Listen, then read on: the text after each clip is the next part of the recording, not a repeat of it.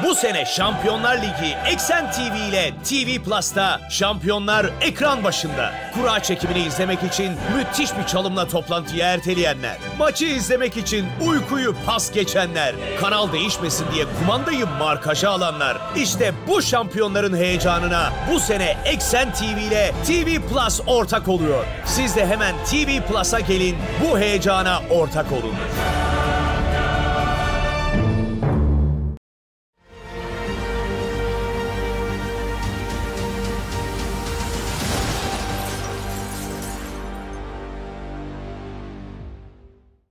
Yeni jilet Maküt Charcoal. Her gün tertemiz bir tıraş. Mutlu akşamlar. Sports Dijital'e hoş geldiniz değerli izleyiciler. Çok mutluyuz. Çünkü üçüncü kez üst üste ve toplamda altıncı kez Avrupa Futbol Şampiyonası'nda amili futbol takımımız Letonya'yı 4-0 mağlup ettik. Beklenen bir sonuçtu ve Konya'da zafer gecesi Hırvatistan deplasmanında 1-0 galip geldikten sonra Letonya'yı da mağlup ederek Avrupa Şampiyonası'na katılmayı garantilemiş oluyoruz. Artık 14 Haziran'da Almanya'da başlayacak olan bu büyük turnuvada milli takımımız da var futbolcularımızı, Montella'yı, teknik heyeti bu başarıda emek veren bütün herkesi tabii ki tebrik ediyoruz. Ve hatta eski teknik direktör Kuntz'un da kuşkusuz bu başarıda bir payı var. Onun olduğu dönemdeki başarıdan dolayı da alınan puanlardan dolayı Kuntz'u da buradan bize tebrik etmiş olalım. Bu akşam tabii ki bu başarıları, bu mutluluğu defalarca yaşamış olan sevgili Gökhan Gönül ile birlikte konuşacağız, değerlendireceğiz. Gökhan hocam diyeyim ben aslında. diyeyim mi?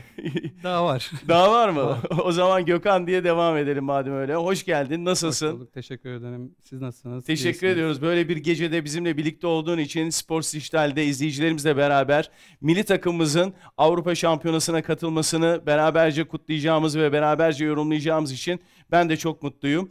Yağız da eğer e, bir aksilik olmazsa ilerleyen dakikalarda bizimle birlikte olacak tabii ki. Ve bu geceyi üçümüz birlikte konuşmaya çalışacağız, değerlendireceğiz.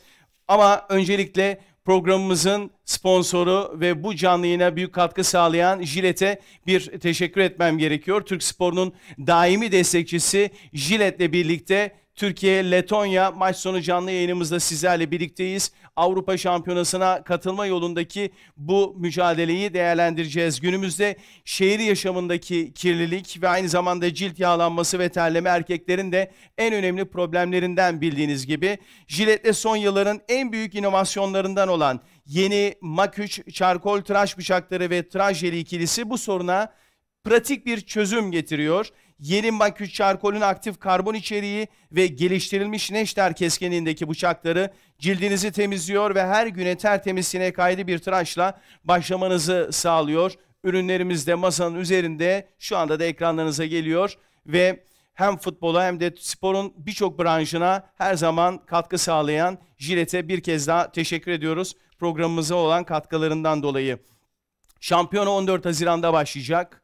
Almanya'da 10 ayrı şehirde gerçekleşecek.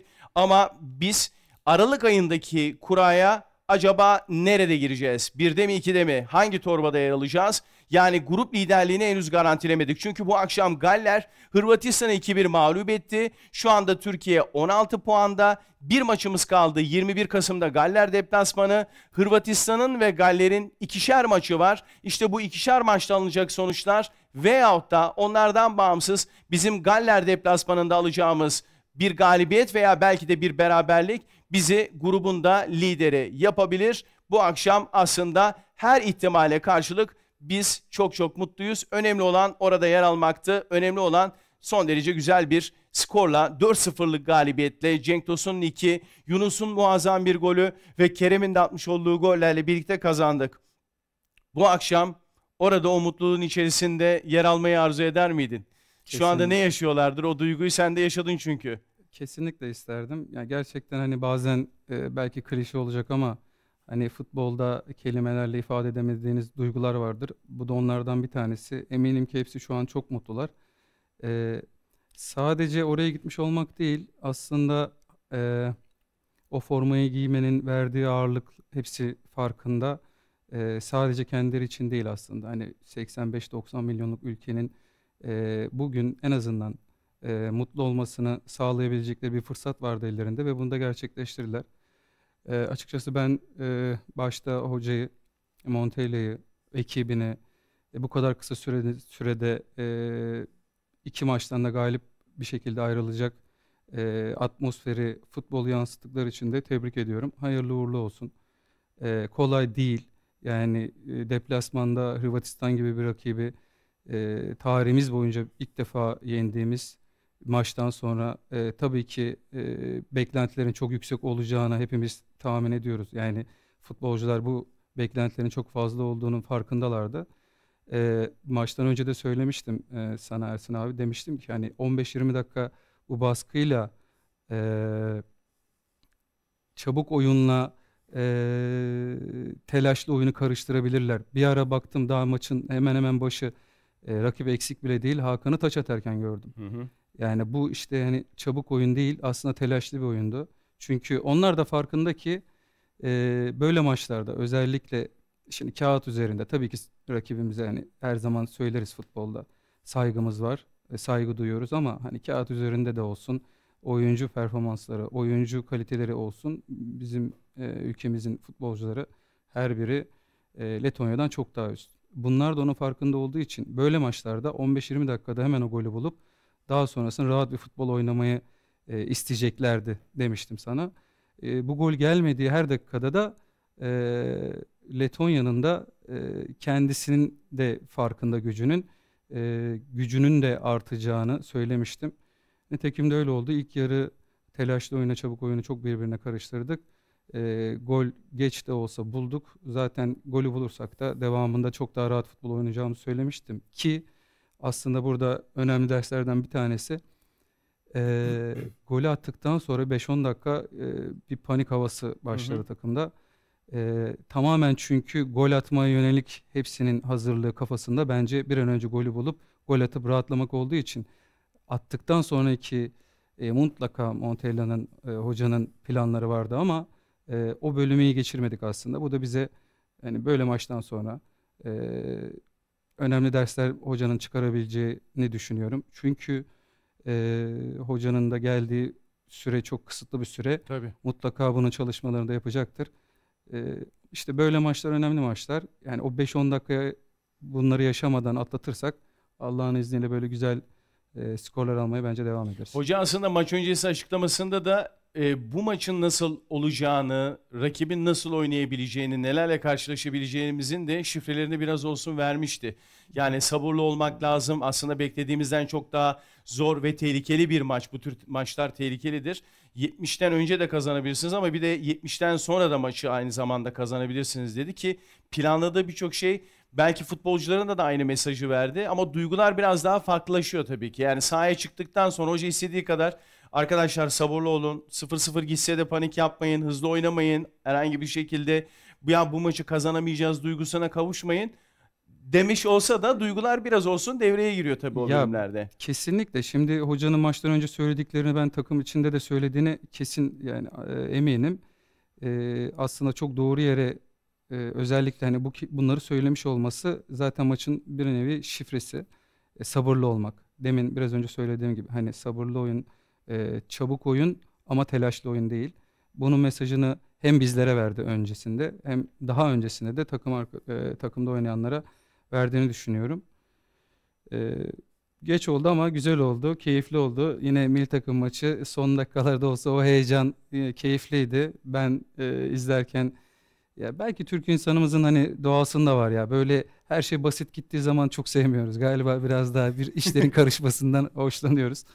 E, nitekim e, kazanmış olduk. Mutluyuz. Hepimiz çok mutluyuz. Doğru. Yani üçüncü kez üst üste Dünya Kupası'nda belki böyle bir istikrarımız, bir performansımız yok. 2002'den beridir hasretiz.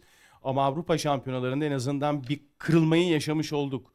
Yani üst üste üçüncü kez katılmak da son derece kıymetli. Kesinlikle. Ee, 2016 sonrasında bir sene sonra olmasına rağmen pandemiden dolayı 2020 olarak adlandırılıyor ve şimdi de 2024. Bu önemli. Toplamda da 6. kez katılmamız. Çok önemli. Yine öncesinde sizle konuştuğumuzda Ee, hani Galler mi gel yani biz çok emindik. Tabii futbolda hiçbir zaman e, iki kere iki dört olmuyor ama e, emindik gruptan çıkacağımıza maç öncesinde de konuşurken. E, hatta demiştik hani Hırvatistan mı gelsin yoksa Galler mi gelsin? E, Hırvatistan tam bir turnuva takımı e, olur da eşleşiriz rakibimiz olur. Galler gelsin daha iyi demiştik kendi aramızda. Biz de bu yolda Hırvatistan gibi ilerlemeye aslında başladık gibi. Hı hı. Ee, biz de turnuva takımı olmaya başladık. Ee, oraları oynayabilmek, o alışkanlığı edinebilmek e, futbolcular açısından çok önemli. Hatta yine şöyle konuştuk. Ee, hani ülkemizde olacak olan e, şampiyonada acaba bu oyuncuların yaş gruplarına yeter mi? Çünkü çok güzel bir jenerasyon yakaladık. Gerçekten çok iyi. Ee, 2008'de bu hava vardı, bu jenerasyon vardı. O yani tam olmasa bile yine futbolun son evrelerinde olan oyuncular olsa bile o ekip ruhu çok iyiydi. Yine son Hırvatistan maçı ve bu maçtan sonra o havayı ben yeniden gördüm. Ee, inşallah böyle de devam eder.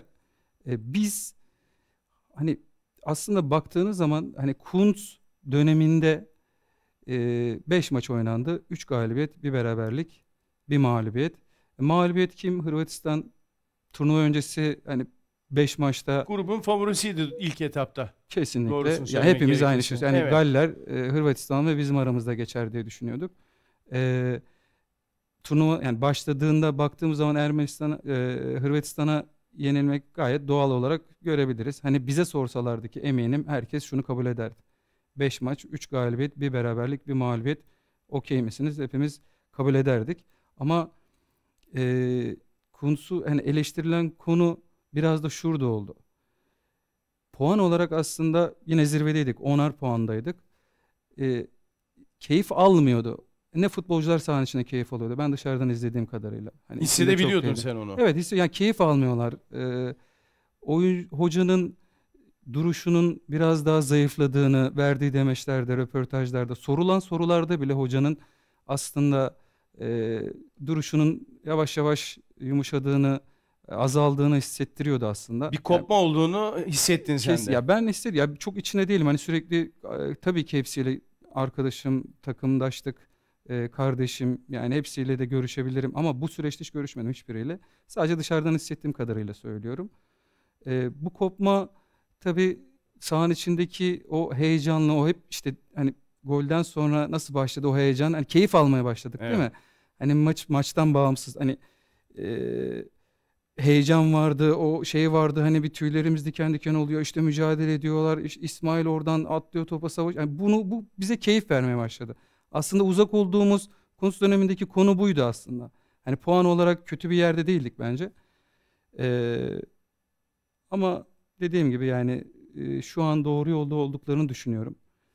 E, aslında çok isterdim hani e, böyle 2-3 ayda bir milli maçlar ya da ayda bir milli maçlar değil de hani 3-4 maç üst üste oynayabilecek bir dönem olsa. Çünkü hani Montella'nın kısa çok kısa sürede çok büyük işler yaptı. Ee, keşke şu son maçı da hani 4 gün sonra da öteki maçı da Hemen oynayabilseydik. akabinde oynasaydı evet. Evet ama garantilemiş olduk. Çok iyi oldu. Ee, eminim şimdi hani Montella'nın Avrupa Şampiyonası ya da e, şampiyon öncesi şu çok önemli. Hani bir ay öncesinden nereden top nereden baksanız toplanıyorsunuz. Ee, böyle e, şampiyona başladığında e, iki sene sürüyor. İşte iki ayda bir, üç ayda bir toplanılıyor falan. Orada hocanın e, verebileceği çok kısıtlı bir süre var. Oynatmak istediği oyunu anlatabilmek, oyuncuları ona alış, e, aşılayabilmek. Çünkü yani her bir oyuncu nereden baksanız ayrı ayrı takımlardan geliyor. Hepsinin oyun anlayışı farklı. E, hocalarının istedikleri e, kendi pozisyonlarında oynasalar da hocaların istedikleri oyun tarzı başka. Hani milli takımdayken Montella'nın oynatmak istediği oyun başka. E, buna ayak uydurmak kolay iş değil. E, ama şu an için onu başardıklarını görüyorum. E, bence çok önemli şeylerden bir tanesi bir hocanın oynatmak istediği oyunu oyun- oyuncularına ikna edebilmişse oyuncu oynadığında daha çok keyif alacağını ve daha iyi performans sergileyeceğini düşünüyorum. Belki Kuntz döneminde oyuncuların Kuntz hocanın oynatmak istediği oyun sisteminde çok mutlu olmadıklarından da kaynaklanmış olabilir. Bilmiyorum ama eğer oyuncuyu hoca olarak inandırabilirseniz oynatmak istediğiniz sisteme, o oyunun güçlü bir oyun olduğuna, o oyunculara inanırsa performansların daha fazla arttığını düşünüyorum ki e, hani gruplarda oynayan takımla bugünkü takım arasında çok bir oyuncu farkı yok. Hani bir Kadro tane- yapısı itibariyle. hemen Evet, hemen aynı. Doğru. Ama coşku, heyecan başka. Ee, demek ki oyuncular hani istiyor. Belki de oyuncular e, Kuntz Hoca'nın gitmesinin üzerlerinde kendi başarısızlıklarımız yüzünden hocayı gönderdiler diye düşünenler de olabilir. Yani o kimi var hocasını çok sever. Bazen bir oyuncu hocası için e, her şeyi yapabilir. Sadece kendi için değil. E, çok sevenler belki de şöyle düşünüyor. Hani bizim yüzümüzden hoca gitti. Hani madem gitti biz bir reaksiyon vermeliyiz. Bu reaksiyonu göstermeliyiz diye düşünmüş olabilirler. Hani bunun verdiği bir e, o e, agresiflik, o heyecan, o coşku olabilir. E, kendini sorumlu hissedenler olabilir. Yani ben çok sosyal medyada aslında e, sosyal medya üzerinden çok gitmek istemiyorum. Çünkü yani yanlış anlaşılmak da istemiyorum. Yani herkes futbolu biliyor. E, Birçok şey konuşuluyor sosyal medyada. E, Kendimden biliyorum. E, Birçok söylenen şey aslında doğru olmuyor. İşte hani Gökhan şöyle dedi, Gökhan böyle dedi. Halbuki benim haberim bile yok. Oyuncular içinde de bu süreçte bazı oyuncular e, yıpratılır gibi oldu. Ama onlar da hani işin psikolojik tarafında çok sağlam durdular, iyi durdular. İşte Hakan'ın açıklamaları kaptanımız.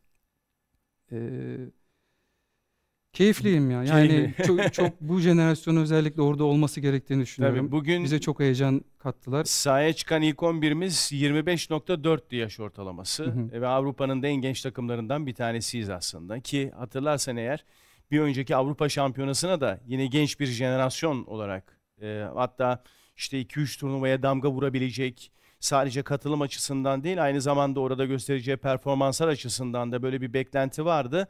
Evet turnuvada istediğimiz sonuç olmadı.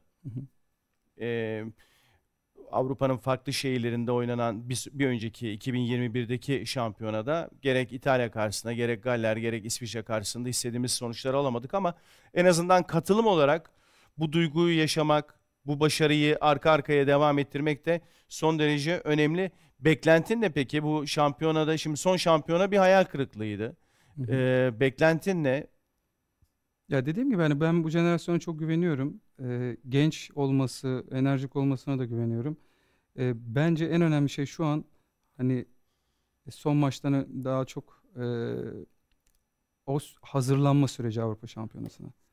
O süreçte, o bir aylık süreçte hocanın sürekli oyuncularla birlikte olması, kafasındaki oyun planını onlara geçirebilecek durumda olması e, çok daha değiştirebileceğini düşünüyorum takım Tabii. anlayışını. Şimdi Kasım'ın 21'inde biz Galler'le oynayacağız Hı hı. ve gruptaki maçlarımızı bitirmiş olacağız. Ardından 3 Aralık tarihinde kurallar çekilecek. Sonrasındaki süreç tabii ki işte hazırlık maçlarıyla ki bizim Galler'le oynadığımız dönem içerisinde bir de Almanya ile oynayacağımız bir hazırlık maçı da var. Sonraki süreç artık hazırlık maçlarıyla devam edecek olan bir süreç ama 19 Mayıs'ta lig bitiyor. Ligin bitimiyle birlikte de senin bahsetmiş olduğun 14 Haziran'a kadarki olan o hazırlık dönemi. Bu bölümde artık Montella daha fazla takımla birlikte olacak, daha fazla takıma e, istediklerini anlatabilecek ki iki maçlık dokunuşu aslında beklenenin biraz daha ötesindeydi. Yani özellikle Hırvatistan deplasmanındaki o 60 dakikalık bölüm doğrusunu söylemek gerekirse son yılların en çarpıcı, en fazla Türk e, taraftarları bizleri heyecanlandıran, kalbimizi küt küt küt küt küt küt yerinden çıkarcasına attıran bir performans ortaya koyduk.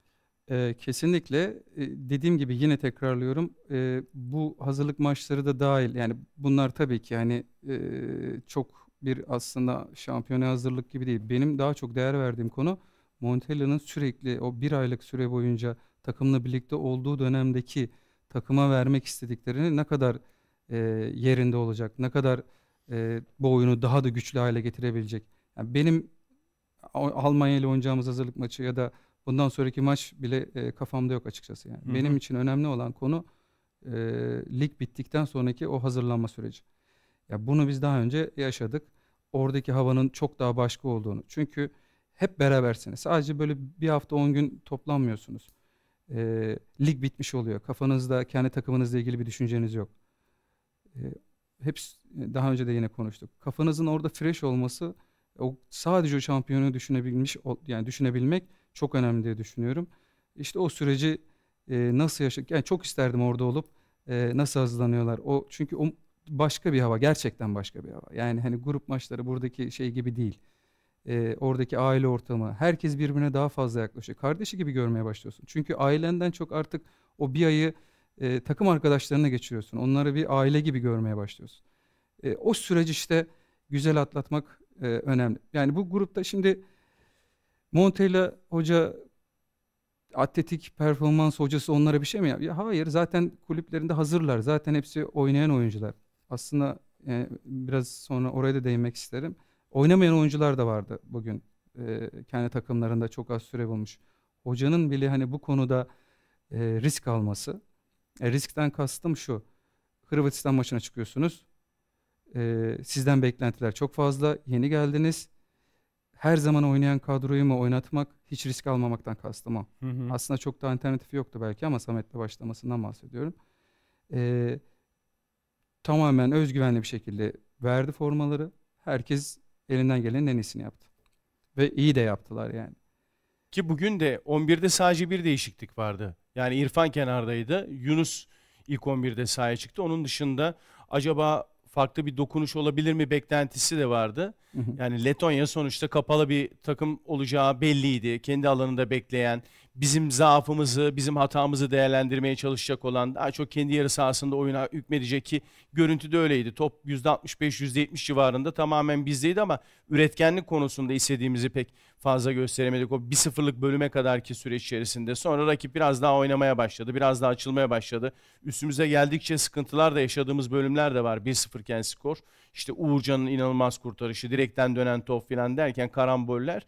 Ama o bölümü de Hırvatistan maçında da yaşamıştık. Yani aslında bize 1-0 e, rahat bir maç izlettirmiyor. yani fırsatları Kesinlikle. değerlendirip 2-3'ü bulursak o zaman çok daha güzel rahatlıyoruz yani. Ee, evet.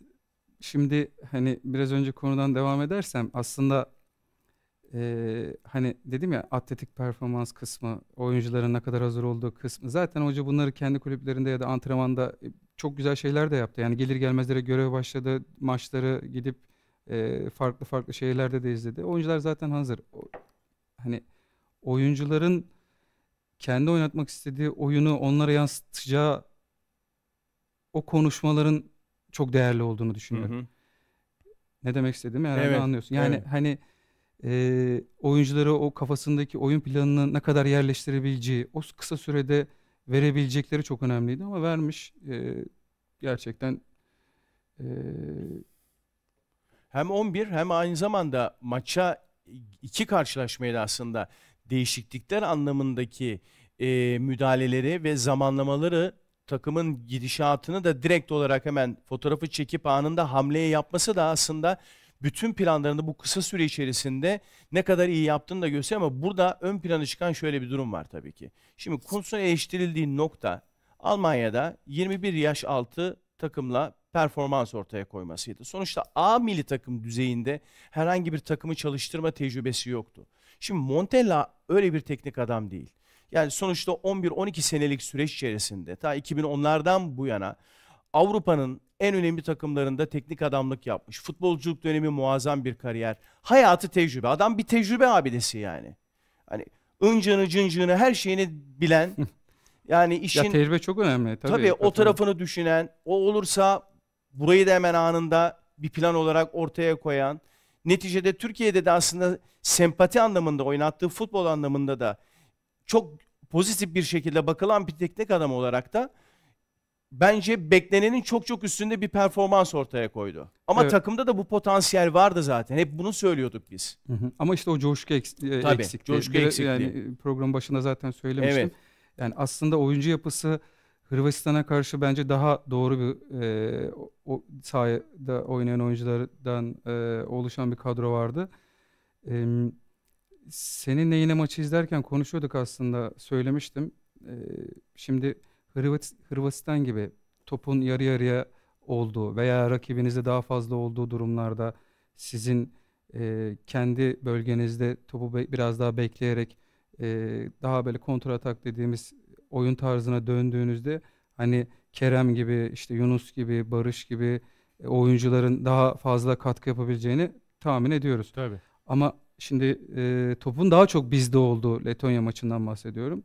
Bizde olduğu kısımlarda e, aslında bu açık alan oyununu daha çok seven Yunus gibi, Kerem gibi oyuncuların dışında e, hoca da zaten ikinci yarı yanılmıyorsam golden hemen önce demiştim hani Cenk'in, Vertu'nun girmesi lazım. Biz zaten Bağırıyordu kanatlar maç değil mi? Evet ya kanatlardan çok rahat geliyorduk ama içerideki buluşturacağımız oyuncu hani size'ları, kafa topa hakimiyetleri e, olan oyuncular değil. Hani Hakan içeri girse de Kerem, Yunus, Barış yine gücüyle biraz da ikili mücadelelerde havada hakim olabilir ama hani bana göre resmen dedim demiştim sana Ersin abi hani Cenk'i çağırıyor oyun. Hani Bertu'yu çağırıyor. Daha böyle kanatlarda indiğimizde içeride çoğal, çoğalabileceğimiz çoğalmamıza bile gerek yok. Belki 3'e 3 kaldığımızda bile e, gelen ortalara e, gole çevirebilecek oyuncuların oyunda olması gerekiyor diye düşünüyorken e, tam o değişikliklerde geliyorken e, mükemmel bir golle e, zaten bir sıfır öne geçtik. Hemen zaten sonra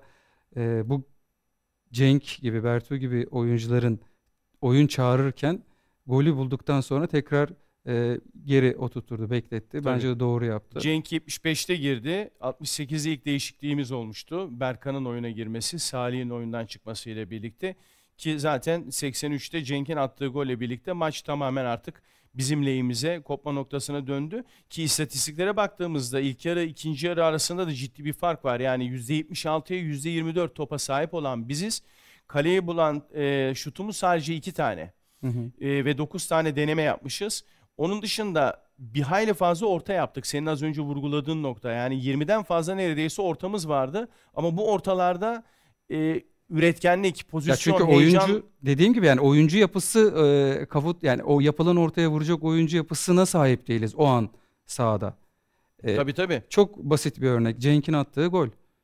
Yani ilk gol. Sağdan ortaya yaptı. Evet bu denemeleri ilk yarıda çok yaptık ama içeride hani o hava topu seven oyuncu yapısı yoktu sahada. Ama yani Cenk'in oyuna girmesi işte zaten fi- maçı koparmış oldu. Tabii. İkinci yarıda da mesela %58'i %42 topa sahip olma İlk yarı oranı. neydi oranımız? %76 idi. Evet ikinci yarı. İkinci yarıda %58'e %42. 9'a 6. Yine 9 şutumuz Çünkü oyun açıldı. isabet. Oyun açıldı. Tabii. İlk yarı sadece defans yapan takım Letonya. Sadece kontra ataktan bulursam pozisyon değerlendireyim. Onun için de e, gol yemeden ne kadar daha ileri atabilirsem dakikayı iyi düşüncesiyle sahaya çıktı. Bekledi bekledi dayandı dayandı dayandı dayandı. E, ama işte e, belki de ilk maçın ilk 15-20. dakikasına kadar golü bulmuş olsak belki çok daha farklı skorlar konuşuyor olabilirdik. Doğru. Yani Şu- çünkü o direnç, gol yememe direnci Letonya gibi takımların e, her dakika direncini arttırıyor. Her dakika direncini arttırıyor. Belki grupta sadece puan almış al- olmuş almış olmak için değil. Grubun e, liderlerini, birincilerini, ikincilerini değiştirme fırsatı. Yani kendilerinden bahsetme fırsatı yakaladıkları için e, bunu oraya taşımak istediler bence. Doğru. E, doğru, yoksa tabii. çok bir iddiası olduğunu düşünmüyorum. Yok son bizim işimize yarar e, bir galibiyet aldılar. Ermenistan'ı 2-1 Yani e, teşekkür mağlup etmişlerdi. da. O önemliydi tabii. Bize yaradı en azından. Çünkü Ermenistan'ın her an potaya girme ihtimali söz konusuydu. E, onu bir şekilde e, aslında bizim lehimize sonuçlandırmış oldular. Bu arada yayınımızı da beğener e, beğenirseniz çok memnun oluruz. Abone olmadan izleyenler de Sports İşler'e abone olursa çok mutlu oluruz. Milli takımımızı konuşuyoruz. Gökhan Gönül'le birlikte Avrupa Şampiyonası'na katıldık. 2024 e, hedefimizi gerçekleştirdik ve bu akşamki Letonya karşılaşmasını değerlendirirken tabii ki ilerleyen dakikalarda biraz geçmişe de döneceğiz. Çünkü futbolu bıraktıktan sonra ilk kez bir yayında sevgili Gökhan Gönül bu zamana kadar hiç konuşmadı. E, hiç kendisine bir soru sorma fırsatı vermedi. Ve bu vesileyle sağ olsun beni de kırmadı. İlk kez bizim yayınımızda, ilk kez Sports Dijital'de en azından biraz geçmişi de konuşuyoruz. Ee, bu tür başarıları, mutlulukları, belki de kalpteki bazı gönül kırıklıklarını onları da ilerleyen dakikalarda değerlendireceğiz. Sizler de aynı zamanda eğer e, soru sorarsanız Gökhan'a ben de buradan iletmeye çalışacağım tabii ki. Fakat bir gerçek var ki milli takımımız e, hani hep sorguluyorduk ya milli takım ne oynuyor? Milli takım ne oynuyor? Ya bir oyun planımız yok diye. İki maçta da gördük ki milli takımımız aslında Avrupa'nın en iyi geçiş oyununu ortaya koyabilecek potansiyelli futbolcularına sahip. Evet. Silah anlamında. O özelliklere sahip. O özellik Buna sahip. ve zaten biraz önce aynı şeyi söylemiştim aslında. Hani Kerem Evet. gibi Yunus bak Yunus Akgün olmadığında Yusuf olmadığında Cengiz yani bunlar hep geçiş oyunu oynayabilecek oyuncular. Sadece geçiş oyunu da değil. Topa sahip olduğunuzda da oynayabilecek oyuncular. Rakibi eksiltebilecek oyuncular. Hı hı. Kerem yine aynı şekilde.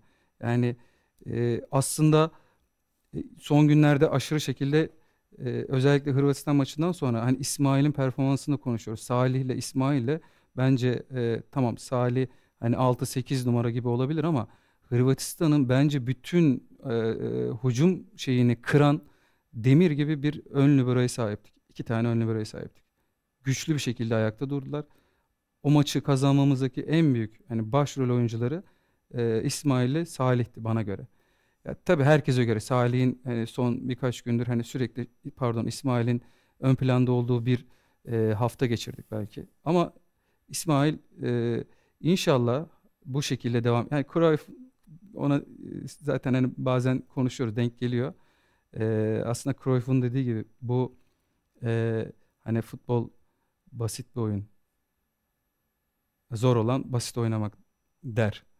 E, İsmail aslında hani biraz daha bu şekilde e, bu şeye uygun bir şekilde oynarsa bence çok daha e, vazgeçilmez bir oyuncu olacak. Yani müthiş bir e, yeteneğe sahip, çok güçlü. E, o biraz daha topu aldıktan sonra e, daha çok final paslarını deneyen bir oyuncu olmamalı oyuncu yapısıyla. O istiyor ki ben zaten bunları yapıyorum. Diğer kısım hani güçlü olduğu kısımları Hı hı. yapıyorum.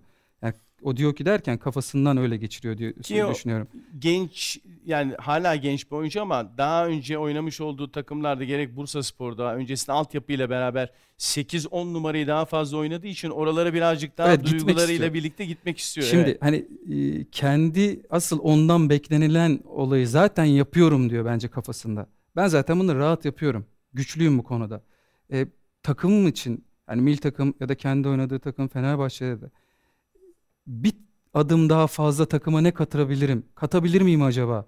Hani daha e, ileride oyuncu buluşturabilir miyim? Daha final pasları atabilir miyim?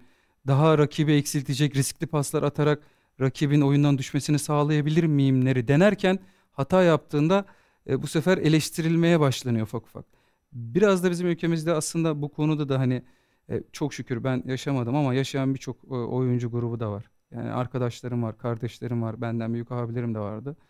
Biz yani e, övmeyi de çok hani aynı sevmeyi de üzülmeyi de ne kadar fazla yaşıyorsak biz övmeyi de yermeyi de e, çok fazla yaşıyoruz. Çok çabuk yaşıyoruz. Hı hı. Hani İsmail'le bugün konuşuyoruz. Ee, çok iyi olduğundan bahsediyoruz. Yani bir iki maç ya da bundan sonra ya da kendi kulübünde işte Fenerbahçe'de oynarken e, kırılma anlarında eğer e, eleştirilmeye başlanırsa aşırı şekilde eleştiriliyor bizim ülkemizde. Hani biraz da burada İsmail'in güçlü kalması gereken e, durumlar var bence. Gökhan, e, çok güçlü değil- kalmalı. Psikolojik anlamda kendini iyi hazırlamalı. Güçlü kalmalı. Mesela İrfan Can e, çok güçlü hareket etti İsmail Hoca ile birlikte. Çünkü İsmail Hoca da hani ben tanıyorum. E, gerçekten ilişkiler yani bence zaten futbol hoca oyuncu ilişkisi e, tamamen iletişimden geçiyor. İsmail daha önceki hocasıyla oynadığı dönemde İsmail diyorum İrfan Can e, daha çok belki kanatta kalmasını istiyordu hoca. Ama İsmail Hoca ile e, daha 8 7 ile 8 arasındaki e, 7,5 daha diyelim. özgür. daha özgür daha 8 çünkü zaten İrfan'ı hepimiz biliyoruz daha 8 numara oynamak istiyor aslında. Daha oraları denemeye başladığında pozisyonları e, İsmail Hoca'nın onları biraz daha özgür bıraktığını düşünüyorum. Bıraktığında yeteneklerim daha fazla ön plana çıktı. İrfan Can izlemeye başladık. İnşallah böyle de devam eder. Çünkü sadece kendi takımının değil, milli takımın da e, değerli, önemli oyuncularından bir tanesi. Doğru. Ee, Gökhan özür diliyorum araya girdim ama e, İsmail ile ilgili olarak İsmail'in de hazır bahsettik açıklaması da varmış. 4 yıl öncesinde bana bu günleri yaşayacağımı söyleseler gülerdim demiş. Allah'a inandım, çalıştım. Üzerimde emeği olan herkese teşekkür ederim. Euro 2024 bileti alan kadroda olacağımı söyleseler aklımdan bile geçirmezdim diye bir ifadesi var. Kerem'in açıklaması Almanya'da güzel işler yapmak istiyoruz. Çok iyi bir jenerasyon var. Çok iyi arkadaşlık var. Montella ile güzel bir hava var.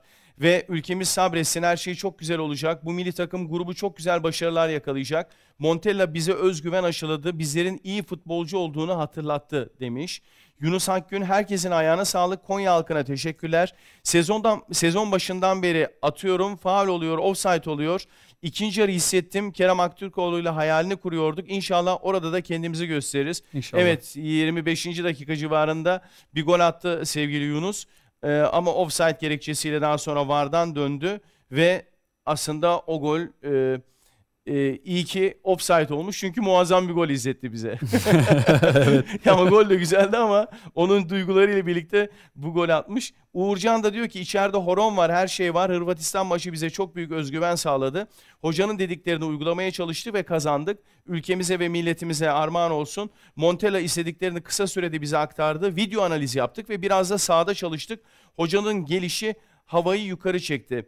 Zeki de içeride eğleniyoruz. Tekrar Avrupa Şampiyonası'na gidiyoruz. Montella'nın katkısı çok oldu. Takıma enerji getirdi. Zaten kaliteli bir takımız. Şimdi Hepsi oyuncuların hepsi e, dikkat ediyorsan hep hocadan bahsediyorlar. Evet. E, Hırvatistan maçından sonra da aynı şeyden bahsediyorlardı ve özellikle vurguladıkları yer hava katması, özgüven aşılaması, bize iyi futbolcular olduğumuzu aynı zamanda hatırlatması, takıma enerji vermesi.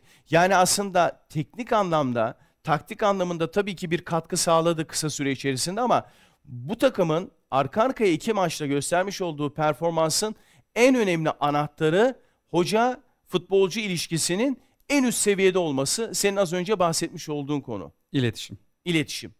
Dediğim gibi hani oyunculara performans anlamında çok bir şey katamam. Tabii ki e, kafasındaki oyun planını mutlaka söylüyor ama iletişim bence futbolun şu an bir numaralı etken. Yani ben e,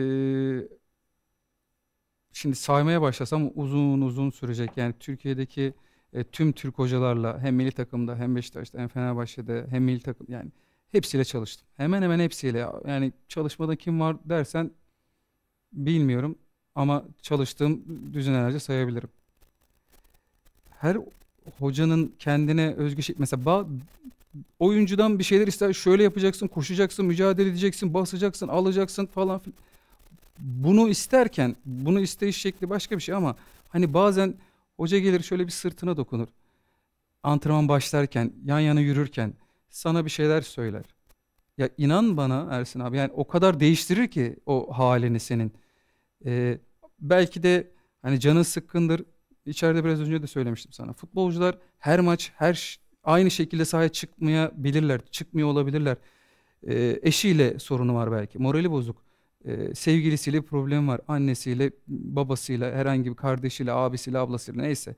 Yani sorunlar olabilir. Karnı ağrıyordur ya. Yani bunlar yaşanabilir şeyler.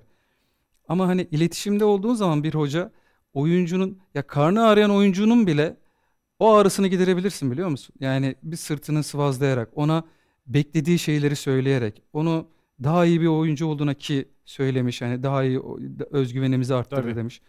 Ee, bunlarla oyuncuyu sahaya sadece antrenman yaptırarak değil bu şekilde de hazırlayabilirsin.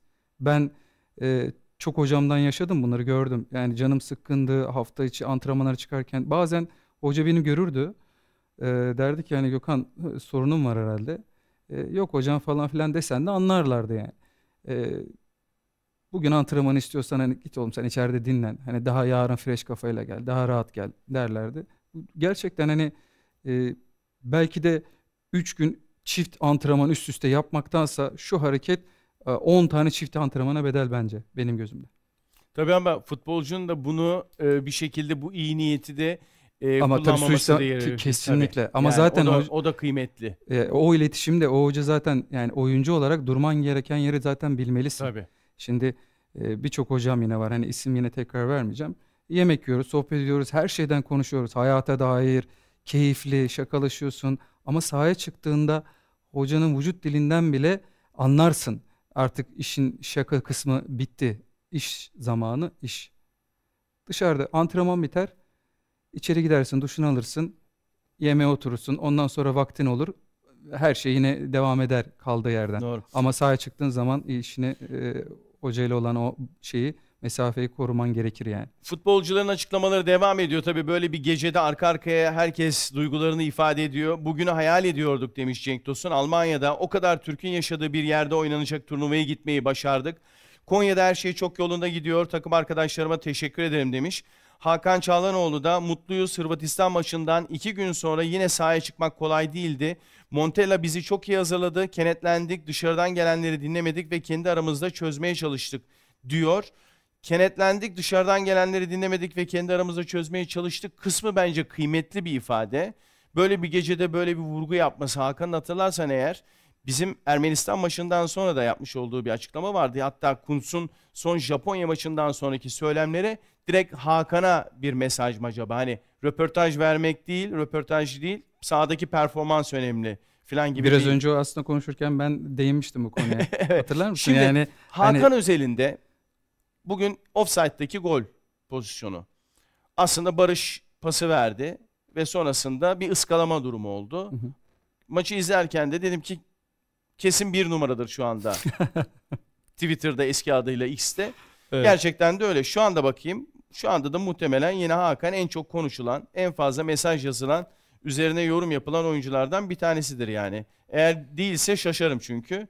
Bakıyorum ya çok yani sen Hakan özelinde değerlendirmen nedir? Bu kadar eleştirilmesi yani ne sen de biliyorsun ki takip ediyorsundur. Ya kardeşim Inter'e gidiyor Inter'de, Milan'a gidiyor Milan'da. Bu iki kulüp takımında da arka arkaya Serie A'da yılın futbolcusu oluyor. Şampiyonlar Ligi finali oynuyor. Bu kadar muazzam performans, goller atıyor, asistler yapıyor. Niye bunu milli takımda gösteremiyor? Sen saha içerisinde tanıdığın, bildiğin Hakan'la ilgili olarak yorumun ne olur?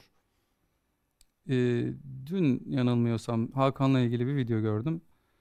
E, Inter'de oynarken muhteşem bir gol atıyor. E, yani alışık olduğumuz özellikle kendi takımında oynarken alışık olduğumuz gollerden bir tanesini. Hırvatistan maçında bir şutu var. Hatırlıyor musun? Yukarı Kale ikisini işte demiş gitti, ki milli takımda oynarken bu şutu böyle atıyorsun. Ee, Inter'de oynasan böyle şu şekilde atıyorsun deyip altına da diğer videoyu koymuş. Öyle bir video gördüm. Ya şunu e, anla yani kendi çevreme de bazen anlatıyorum. Ya top gelirken ya yumuşak ağına denk geldi zemini. Sekmesi gerekenden belki 10 santim fazla sekti ya da 10 santim az sekti. Yani şimdi Hakan o topu oraya mı vurmak istiyor? Daha iyisini yapmak istemiyor mu? E, deniyor. E, denemiş. Yani şu eleştiri yani şu bu bu tarz eleştiriler işte katılmıyorum. Yani o top o kadar milisaniyeler, santimler oynuyor. Yani o topun nasıl gittiğiyle alakalı, ayağının neresiyle vurduğunla alakalı. Yani topun geliş hızı. Ya diyorum ya hani dümdüz böyle bilardo zemini gibi bir zeminde oynamıyorsun. Hani öyle bir oyun değil bu oyun.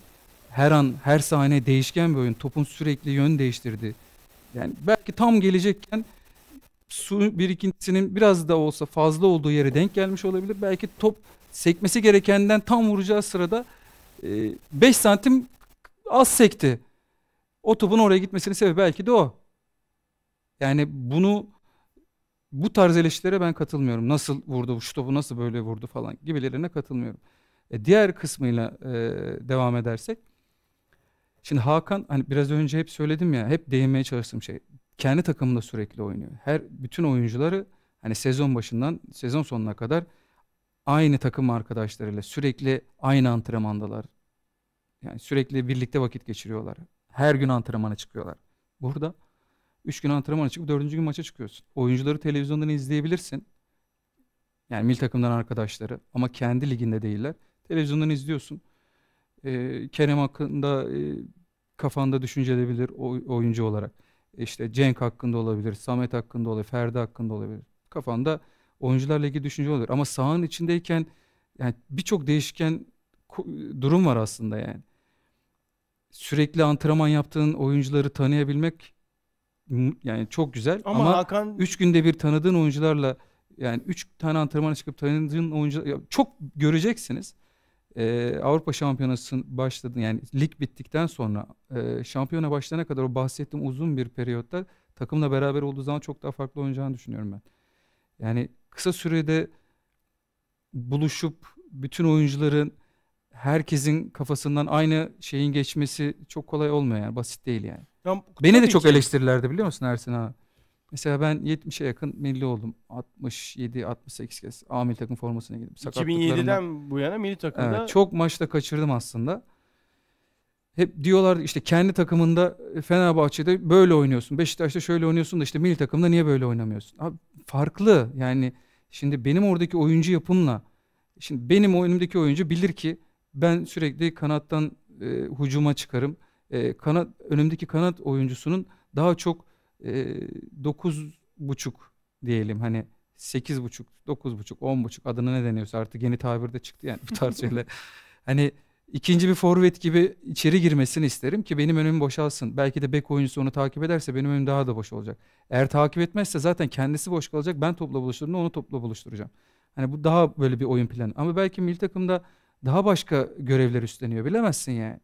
Ama şöyle bir durum da var eee, sevgili Gökhan. Yani eee, şimdi 6 numara da oynuyor biliyorsun Inter'de Hakan. Hı hı. Normalde ilk oyun kurulumunu gerçekleştiren. Kuntz'la beraber bu oyunu da aslında yani planı bu şekilde de yaptı. Şimdi Montella ile beraber daha önceden de çalışmıştı.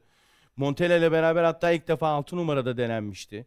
Montella ile birlikte şimdi aslında santrafor arkası, Arkası. gibi oynuyor. Yani İsmail ve Salih'in arkasında. Milli takımda Avrupa Şampiyonası'nda Şenol Hoca döneminde de 8 numarada oynadı, 10 numarada oynadı, sol kanatta da oynadı. Yani aslında oynayabileceği hemen hemen her mevkide oynadı Hakan. Evet ben de çok kıymetli. Peki neden her hoca oynattı? Oynatıyor. E, Neden? Oy- oy- faydalı bir oyuncu zaten. Şimdi yani bu seni çok olarak- Ters Ben- bir yerde bırakacağım şimdi Hayır, seni Hakan'ı yenirsen. ben eleştirmiyorum. Şunu anlatmaya çalışıyorum. Hani ben yerimde oynamıyorum. Ben aynı oyuncu grubuyla oynamıyorum. Senin bahsetmiş olduğun konulardan giderek Ya söylüyorum. alışkanlıklardan bahsediyorum işte. Aynı oyuncu grubuyla sürekli oynadığın zaman yani o ya şimdi ben kendimden örnek veriyorum. Topu aldığımda oyuncu arkadaşlarımı çok iyi tanıdığım için olduğu pozisyona bakmadan nerede olduğunu tahmin ettiğim anlar doğar bazen sahanın içinde. Çok sıkıştığın çizginin e, yanındasındır. E, baskı yemişsindir ama arkadaşını topla nerede buluşturacağını çok iyi tahmin ettiğin anlar da olabilir yani. Hani bu anları ufak olabilir yani Tabii, küçük tabii, görünebilir ama hani bu anlar önemli anlar yani. E şimdi mesela şimdi herkes hak diyorsun ki Trend Topik miydi? Evet. Baş- Başta birinci sırada diyorsun. Şimdi sorduğun zaman Hakan kötü, ne kötü neyi kötü yaptı dediğin zaman şimdi o mesela yorum yapan kötü diyenler Şutu kötü der. şöyle der. Evet. Yani hani bakar neyi kötü yaptı? Düşünür böyle. Değil mi? Şimdi mesela aklına geliyor mu neyi kötü ya? Yani bir şut attı tamam bir tane kötü şut attı. O da olabileceğini bahsediyorum zaten. Kesinlikle. Mesela Hakan nasıl kötü oynadı desem? ben kötü oynadı demem. İşte hani bulamıyoruz. Yani şey yani tabii, tabii, tabii. ama bak şu ne biliyor musun? İnsanlar beklentisi çok fazla. Inter'de yapmış olduğu e, işler, başarılar, yakaladığı e, yani her bir adım sonraki adımında bir fazlasını istiyor insanlar. İsterler. Beklenti çünkü orada. Bence beklenti burada olduğu için Hakan şuralarda kaldığında belki bir adım iki adım ama beklenti burada olduğunda buraya yanaşamadığında e, bu sefer eleştiriler başlıyor. Ya bir takımın performansı, genel performansı da aslında oyuncu performansını Doğru orantılı. düşürebilir de arttırabilir Doğru de. orantılı. Takım eğer iyiyse bir oyuncunun birçok şeyi aynı anda yapabilmesi de çok da mümkün değil. Yani ama Evet. takım eğer iyiyse o futbolcunun biraz üst düzey performans ortaya koyması ortaya parıltılı, cıvıl cıvıl, son derece insanlar tarafından beğenilen bir takım performansı haline dönüştürür. Hakan da bence bu kadar eleştirilmesinin ana sebebi bu oyuncu grubun içerisinde her şeyi Hakan'ın yapabileceği inancı var. Oyuncularda da var bence. Bak, oyuncularda da var Ondan bekliyorlar. ama genel olarak taraftarlarda yani bütün milli takımı izleyenlerde. Yani Inter'de bu adam çift taneli skorlar üretiyor, asistler yapıyor. Burada da onu yapmalı. evet. Şimdi orada oynadığı oyuncuların ona olan yardımı ve katkısıyla ya da kalitesiyle milli takımda oynadığı oyuncuların performansı bu anlamda onu Kaliteleri. kaliteleri birbirleriyle olan uyumu arasında çok ciddi bir fark var. Hakan'a bizde hep başrol oyuncusu olarak kesiliyor. Yani rol hep o. o. Yani takımın starı, takımın kaptanı, takımın golcüsü olacak, takımın asist kralı olacak. Takımın her şeyi olacak. Ha- Hakan bu profile ancak bu takım onun seviyesinde bir oyun ortaya koyarsa O zaman bence ulaşabilir. Evet, mesela yine kendimden örnek vereceğim. Benim önümde oynayan oyuncu her zaman benim e, maç içerisindeki performansımı çok etkilerdi biliyor musun Ersin abi? Mutlaka. Şimdi- tabii. Benim önümdeki oyuncu eğer içeri girmiyorsa ben o per şimdi benden herkes ne bekliyor? Ofansif bir futbol.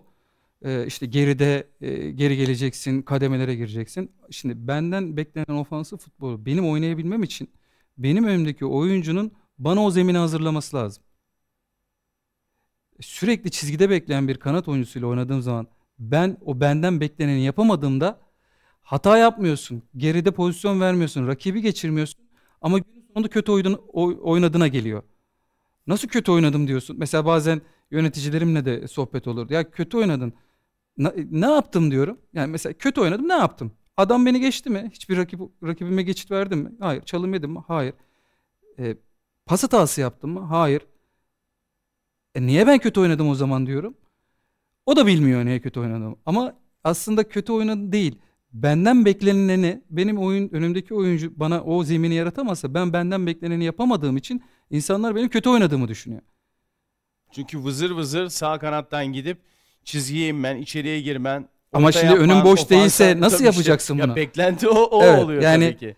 Ee, önün boş işte yani yine hani hep kendimden örnek veriyorum en azından daha iyi anlatabilmek için durumu. Ee, şimdi mesela benim özellikle Fenerbahçe'de oynadığımız dönemde Kayt, Vebo, Sov. Şimdi Kayt'ı nerede oynuyor Kayt? Kanatta oynuyor değil mi? Sov da diğer kanatta diye dizilişe baktığın zaman öyle. Sov solda, Kayt sağda, Vevo santrafor diye düşünüyorsun. Evet. Belki de benim yaptığım çoğu asistin Kayt'tı. Ceza sahasında en çok topla buluşturduğum oyuncu Kayt'tı. Benim önümde oynadığı oynayan oyuncu bak baktığınız zaman kağıt üzerinde. Çok ilginç değil mi? Aslında Cener ile birlikte biz önde tek forvet gibi kağıtta yazıyor olsa da aslında 3 forvetle oynuyorduk. Kayt, Tabii. Vebo, Sov. Tabii tabii. doğru. Caner bir kanat, ben bir kanat oynuyordum.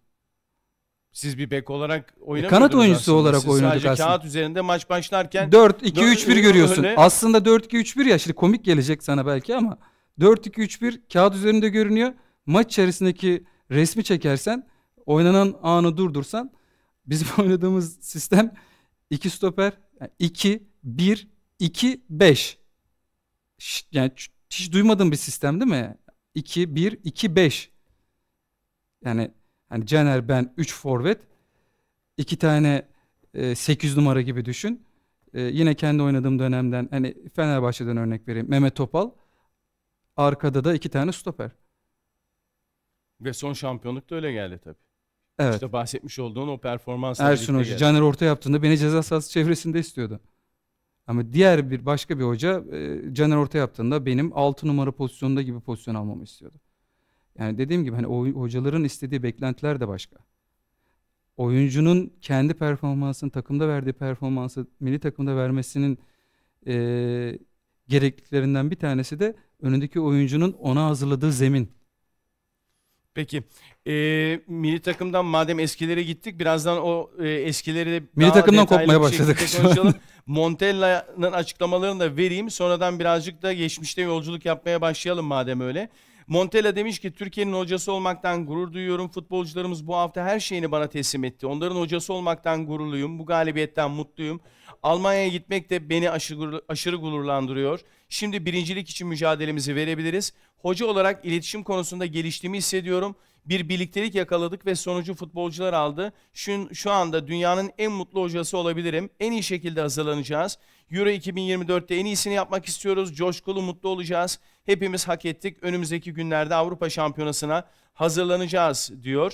Ee, hazırlanmak tabi arada belirli bir zaman var ama bence bizim milli futbolcularımızın özellikle bu süreçten sonra performansı Türkiye'de oynayanların da mesela ya da milli takıma kadroya dahil edilmemiş olan hocanın belki de geniş listesinin içerisinde yer alan ya da İsmail diyor ya 4 sene önce bana bunu söyleseler benim için gülerdim geçerdim ama şimdi hayallerimi gerçekleştiriyorum diye şu anda orada acaba olabilir miyim diye hayal kuran futbolcular da var milli takımın içerisinde yer almaya arzu eden. Neden olmasın? Süper Lig'e de çok ciddi olumlu e, performans e, katkısı olacaktır diye düşünüyorum herhalde. Kesinlikle, kesinlikle. Yani kendi takımdan özellikle. Çünkü artık garantile, e, garanti olmuş bir şampiyona. Herkes orada olmak ister. Şöyle bir örnek vereyim. 2008 Avrupa Şampiyonası'nda oynayan oyuncuların hemen hemen hepsi transfer yaptı. Hani Mehmet Topal, işte Arda'nın nerelere geldiğini biliyorsun yani. E, çok müthiş bir organizasyon ve e, çok da tabiri caizse hani vitrin dediğimiz mükemmel maçlar. Şimdi ülkenizde siz oynarken gerçi son dönemde 3-5 senede bunlar biraz daha değişti. Türk futbolcuların özellikle Avrupa'da yakaladıkları başarı, performans e, insanların e, bu tarafa doğru yönelmesini de Avrupa kulüplerinin sağladı. Onların başarısı diğer oyuncuların e, ihtimallerini arttırdı diyelim. E, o yüzden biraz daha bizim ülkemizde kendi ligimizi e, seyretme yurt dışındaki takımların scoutlarının oranı çok düşükken e, şimdi hepimizin planı her zaman plan demeyelim de hepimizin isteği hani oralarda olmak çünkü orada Avrupa'nın bütün gözleri orada. Yani kendinizi kanıtlayabileceğiniz, futbolunuzu gösterebileceğiniz çok güzel bir vitrin. Güzel bir arena. Herkes orada olmak isteyecektir. Bu da kendi kulüplerinde herkesin performansını bence yukarı çıkacağını, çıkaracağını Çıkaracak. düşünüyorum. Şimdi Arda ile ilgili, Arda Güler'le ilgili çok fazla soru var. Sağ olsun izleyicilerimiz de yayınımızı da beğenmenizi de rica ediyorum. Sorularınıza da arada bakıyorum. Gökhan konuşurken şöyle kafamı öne eğdiğimde sizlerin sorularına da bakıyorum. Bir şey yakalarsam eğer onu da ileteyim diye. Arda ile ilgili çok soru var. Gerek milli takım gerekse e, Real Madrid ve gerekse Fenerbahçe'deki performansları ile ilgili. Real Madrid'de ümit ediyoruz ki kısa süre içerisinde artık oynamaya başlayacak. Sakatlığının geçtiği yönünde e, bazı bilgiler de var. Milli takıma nereye koyarsın Arda'yı? Her yere koyarsın. Kimi ya bir şekilde koyarsın. Kimi çıkarırsın? Şimdi ben sana Aa, zor bir yerden zor, zor gireyim. soru. He? Zor Kimi soru. çıkarırsın Arda'yı koyarsan. Ya şimdi yine kağıt üzerine hani bakıyoruz ya 4 2 3 1 gözüküyor değil mi? Tamam. Ya oynatmak istediğinde bunu değiştirebilirsin. Sistemini değiştirebilirsin. Yer yani istersen bulursun çok rahat. Ya da oyunu oynatıp diğer oynatmak istediğin oyuncuya yer bulabilirsin diyelim. Hani şimdi Arda'ya yer bulursun gibi olmasın. Arda bence zaten muhteşem bir yetenek. Ee, diğer oyunculardan oynatmak istediğin oyunculara yer açabilirsin. Yani iki ön libero'lu değil de tek ön libero'lu bir sistemi 8 iki tane 8 aslında 2 8'in e, bir nevi 10 iki tane 10 gibi de düşünebilirsin. Ya illa şimdi Hakan'ı oynatıp aynı zamanda ben Arda'yı da oynatacağım. İkisi de atıyorum. Yani 10 numara pozisyonun oyuncusu diye düşünme yani. İkisini de aynı anda sahada görebilirsin.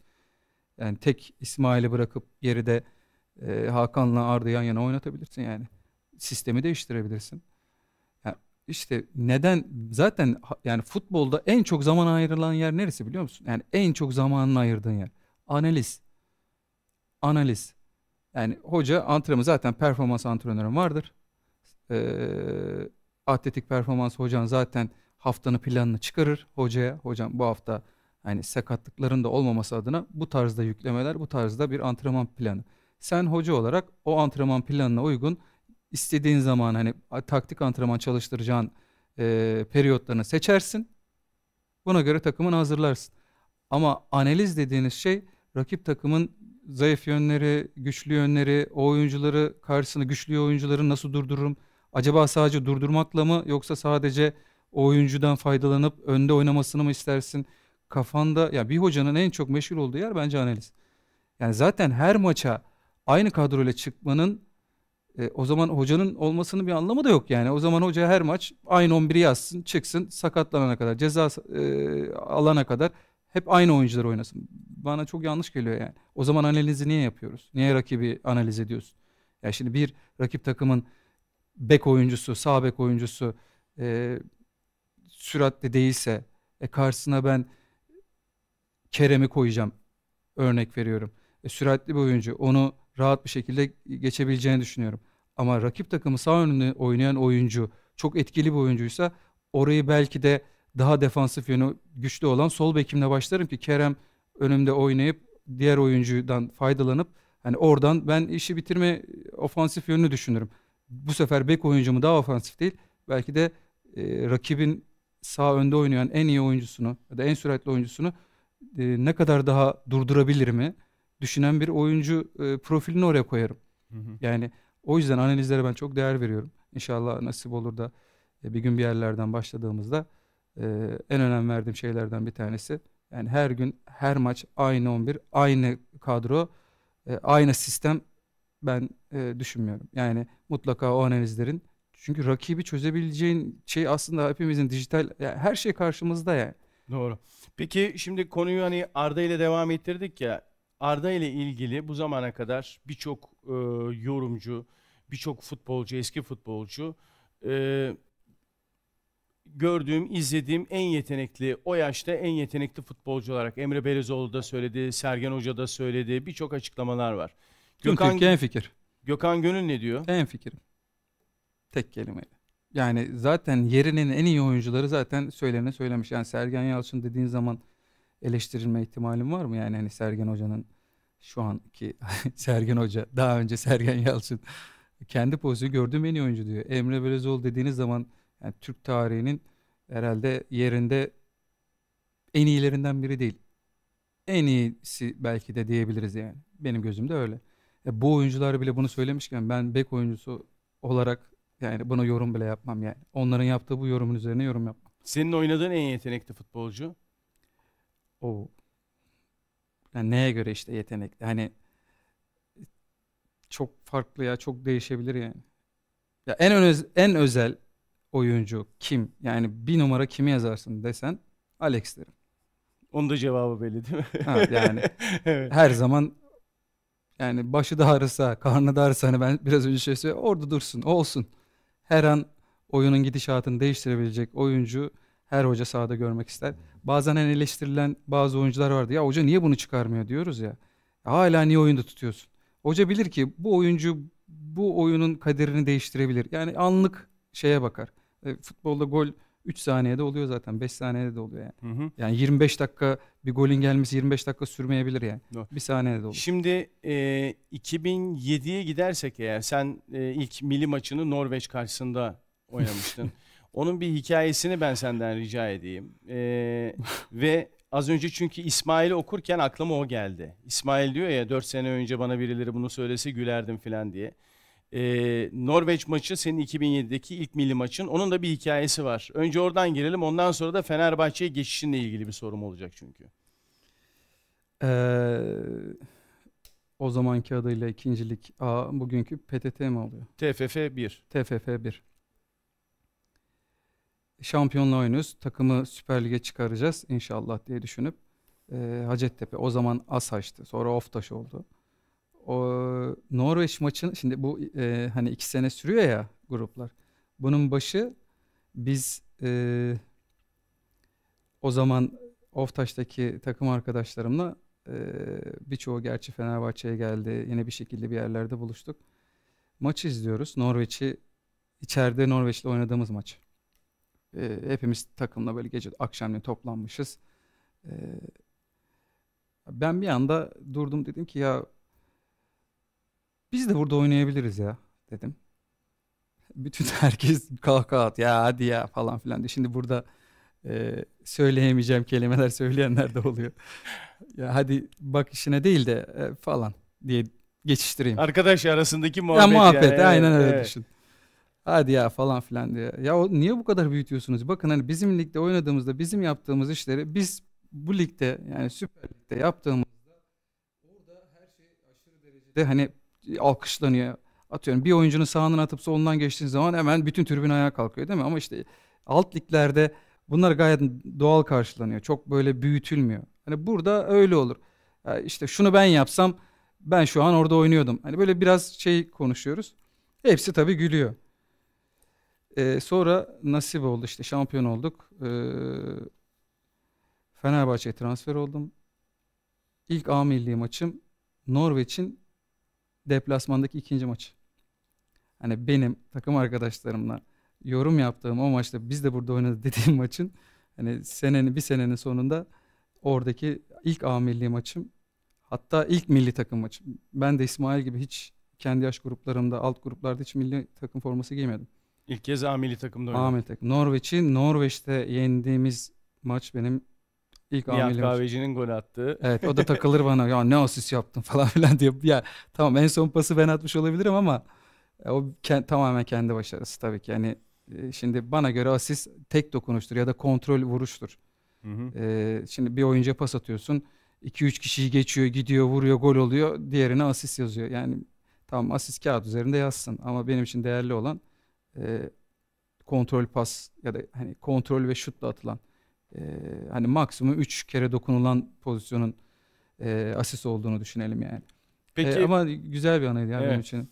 e, 2007 Fenerbahçe transferinden bahsediyorsun. İlk Fenerbahçe'deki başlangıç döneminle ilgili olarak da e, hoca Zico. Zico nasıl bir başlangıçtı? Ee, şimdi transfer oldum. İlk oda arkadaşım da Tümer abidir. Beni Tümer abinin yanına verdiler. Ee, Avusturya'da mı bir yerdeyiz yani tam hatırlamıyorum. Antrenmanlar başladı müthiş yani kendime göre ya kendime göre de değil aslında. Zaten daha sonra işte Volkan'dır, e, Tümer abidir hepsi söylemişti. Ben oynamaya başladıktan sonra ulan sen geldin işte antrenmanlara çıkıyorsun lan bu çocuk yani çok iyi yerlerde olacak. 10 sene bu takım formasını giyer demiştim zaten diyen oldu bana. Hı hı. Ee, beraber forma giydiğim, e, üst üste giymeye başladığım maçlardan sonra arkadaşlarım zaten bunu söylemişti. Ee, çok iyi oynuyorum antrenman. Ya hoca bir türlü beni kadroya almıyor. İlk 3-4 hafta kadroda yokum. Yani hani sonra gittik eski takım Ankara'ya Hacettepe işte adı değişti. Oftaş takımı gittik. Bu sefer Zico 19 kişilik kadro götürdü. Ama beni de götürdü. Ben dedim en azından eski takıma karşı hani bir jest yapar. Almadı beni yine kadroya. ya döndüm eve. E, dedim ki hani ben muhtemelen buradan ayrılırım yani. Hani gideceğim. Belli yani bu kadar benim verdiğim antrenman performansına göre bu kadar şeye göre yani oynayamıyorsam demek ki başka bir şey var yani. Hoca beni Yerinde beğendi. oynayan Önder'di herhalde değil mi? Önder, Önder Önder. Turacı oynuyor. Evet. Sonra bir gün Şampiyonlar Ligi'ne e, PSV maçı deplasman. Zico bana dedi ki seni yarın dedi 11 oyuncan hazırlan. Uyuyamıyorum. Yani ben ligde neredeyse oynamamışken bir anda Şampiyonlar Ligi gibi, gibi bir arenada deplasmanda yani Kadıköy'de oynasan yine hani belki Üstesine biraz daha şey olursun ama hani deplasmanda oynuyorsun ilk defa formayı giyeceksin ya uyuyamıyorum gece yani. Kafamda bin tane şey dönüyor. E, Rakibimi açıyorum, izliyorum diyorum. Önümde oynayan oyuncuyu nasıl durdururum? Onun şeyindeyim, onun planlarını yapıyorum falan kafamda. U- bir türlü uyuyamıyorum. Neyse maç başlayacak artık. O Şampiyonlar Ligi mü- müziği de bir de çaldım ha. ısınırken hani böyle o seremonide. Ölüyorum dedim ya. Kalp krizi geçireceğim ya. O Ya kadar du- du- heyecanlandı Tabii ya yani. kalbimin böyle attığını yani resmen dışarı doğru çıktığını hissediyorum yani. Hani içimden bir şey böyle patlayacak yani. Ne yapacağım yani? Maç başlayacak. Başladı. Allah'ım diyorum top bana gelmesin. gelmesin. Birkaç hani oyun bir ısınsın, bir göreyim ne oluyor, ne bitiyor. Hani yabancıyım yani. Ligde oynamamışım neredeyse. Sonra böyle bir 3-5 dakika sonra böyle bir göz göze geldim Zico'yla. Oyna. Böyle şey yaptı. Hani beni bir rahatlattı. Ya sonra dedi düşündüm kendi kendime dedim ki yani buradasın Gökhan hani oynuyorsun. Yılların tecrübesi bir hocam var. Geçen senenin lig şampiyonu olmuş bir hoca. Ben şampiyon kadroya geldim bir de. Tabii. E, 100. yıl şampiyonluğunu yaşamış kadroda. E,